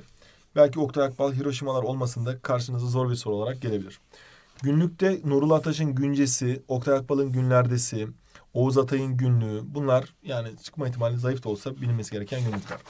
Ruşen Eşref Ünaydın'ın Diyorlar ki adlı mülakatı bilmesi lazım. Mustafa Kemal'le direkt arkadaş onunla çok defa mülakat yapıyor. Fahri Rıfkı Atay yine Mustafa Kemal'le arkadaş. Çankaya, Zeytinyağı, Ateş ve Güneş, Atatürk'ün hatıraları önemli. Ruşen Eşref Ünaydın'dan bir yıldız, Fahri Rıfkı Atay'a iki yıldız veriyorum önemi anlaşılsın diye. Fahri Rıfkı Atay'ın çıkma ihtimali daha yüksek. Gezi yazılarında deniz aşırı bizim Akdeniz Tuna kıyıları da çıkabilir. İsmail Habibi Sevi'nin Tuna'dan Batı'ya adlı gezi yazısı yüz temel eser, eser olarak okutuldu. Şevket Radon'un Eşref Saati yine bir yıldız hak ediyor. Nurullah Taç üç yıldız hak ediyor. Çıkma ihtimali çok yüksek. Denemeler yazıyor. Karalama defteri günlerin getirdiği önemli denemeleri. Devrik cümleyi edebiyatımıza sokuyor. Türkçenin özleşmesi için çalışıyor. Günce adlı günlüğü de var. Suud Kemal Yetkin'e bir yıldız belki verebiliriz. Günlerin götürdüğünü yazmış. Düşün payı yine önemli. Ee, Sabahattin Eyüboğlu'da mavi ve kara Anadolu hümanizmi kavramı Anadolu hümanizmi kavramını canlandıran kişi. Anadolu hümanizmi önemli. Ee, tabii ki sanat edebiyat üzerine denemelerden ziyade burada mavi ve karaya dikkat edin arkadaşlar. Geldik Azra Erhat'a. Azra Erhat'ın çıkma ihtimali biraz zayıf ama yine de hani Mavi Anadolu'yu bilirim gezi yazısı olaraktan. Abidin Dino yine otobiyografisi kısa hayat öyküm. Salah Birçe'nin Boğaziçi Şıngır Mıngır'ı denemesi önemli. Ee, ve Kikirikname adlı şiirini belki sorabilirler. Mustafa Baydar zayıf. Cemil Meriç önemli bir sanatçı. Bakın mağaradakiler, bu ülke, Umran'dan Uygar'la bunlar hep üst temel eser olarak okutuldu. Buraya bir, iki, üç, dört, beş yıldız koyuyoruz. Ee, 40 Ambar, Işık Doğudan Gelir Kültürden İrfana adlı e, incelemelerde önemli. Eflatun Cemgi'nin masalcı olduğu sorulabilir. Nakit Tezel'in masalcı olduğu sorulabilir. Önemli sanatçılar. Dünya edebiyatına baktığımızda bilinen en eski destan Gılgamış, ilk fabul yazarı Ezop, eski Yunan'dan yazıya geçirilen Ezop masallarını bileceğiz. Asiklos trajedici, e, Aristofanes komedyacı, Shakespeare dramcı, Boccaccio öykücü, Don Quixote Cervantes ilk modern roman, e, tarihi roman Waverley çıkmaz. İlk realist roman Madame Bovary, Gustave Flaubert tarafından yazılıyor, realizmin öncüsü. Deneme türü Fransız Montaigne ve ilk anı Anabasis. İlk biyografide Plutarkos, günlük türüne de ilk eski Yunanlar rastlanıyor. Bunu bileceğiz. E, destana baktığımızda İtalyan edebiyatında Tasso, Kurtarılmış Kudüs, Ariosto, Çılgın Orlando'yu zaten en başta söylemiştik. Masal Fabıl'da Beydava ve Kelline Dimne'yi belki bize sorabilirler. Sadi'nin Gülistan'ı belki, La Fontaine'in Fabulları belki bizim karşımıza çıkabilir. Ee, burada yine Göte'nin Alman edebiyatından olduğunu, Şehriyar'ın da İran edebiyatından olduğunu bize belki sorabilirler. Eski Yunan edebiyatında tabii ki Asiklos ve Sofokles bakın bunlar hep sorulmuş ama eski sınavlarda bu trajedici olduğu sorulabilir. Ee, Shakespeare'in Romeo ve Juliet'i sorulmuş. Racine ve Corneille'in trajedici olduğu, Molière'in e, komedici olduğu sorulmuş. Yine Schiller, William Tell sorulmuş. Goethe, Faust sorulmuş eski bir eser olarak. Boccaccio, Decameron ilk öykü örneği. Aynı şekilde bunlar Milletin Bakanlık kitabında geçen kazanımlarda olabilecek sorular. Romana baktığımızda Cervantes'in Don Quixote adlı eseri yine sorulmuş defalarca. Goethe Genç Werther'in Acıları yine roman olarak önemli. Ve aynı şekilde Tolstoy, Anne Karenina, Dostoyevski Suç ve Cezayı sormuş ÖSYM defalarca. Bir de Turgenev Babalar ve Oğulları sormuş. Flaubert, Madame Bovary'i, Balzac, Goretoba'yı sormuş. Çağdaş Türk dünyası edebiyatına baktığımızda Bahtiyar Vahapzade'nin Azerbaycan edebiyatından olduğunu bilmemiz lazım. E, benim dostlarım mutlaka bir eserini vererekten gider. Hüseyin Şehriyar yine İran Azerbaycan edebiyatının temsilcilerinden Heydar Baba'ya selam diyoruz ve eser özetlerine geldik. Şimdi çıkma ihtimali olan eser özetlerinin yanına yıldız koyacağım. Bilmiyorsanız aklınızda tutun arkadaşlar. Tanzimat edebiyatına baktığımızda Taşuku Talat ve Fitnat Şemsettin Sami'nin zaten eserleri belli. Talat ve Fitnat. Bu bir yıldız koydum eser olarak çıkar demek. iki yıldız koydum özet olarak çıkar demek olsun. Bunu eser olarak sorarlar. İntibah Namık Kemal'in cezbisini eser olarak sorarlar. Namık Kemal'in e, intibah ve cezmisini Cezmi İltihali roman intibahı da ilk edebi roman olarak sormuşlar. Yine sorabilirler. Felatun Bey ve Rakım Efendi'yi direkt eser özeti olarak sorabilirler. Çünkü Felatun Bey batıracak, Rakım Efendi iyi olacak. İyi ve kötü çatışması, romantizm örneğin. İyiler kazanıyor, kötüler kaybediyor. Araba sevdasında Bihruz Bey'i özel özeti olarak da sorabilirler. İlk realist roman. Sami Paşa Sezai Dilber'i sormuşlar. Bakın iki yıldız koydukları ama da hep sormuşlar eser özeti olarak. Nabizade Nazım Zehra'yı bir eser olarak sorabilirler. Nabizade Nazım Karabibi'yi yine bir eser olarak sorabilirler.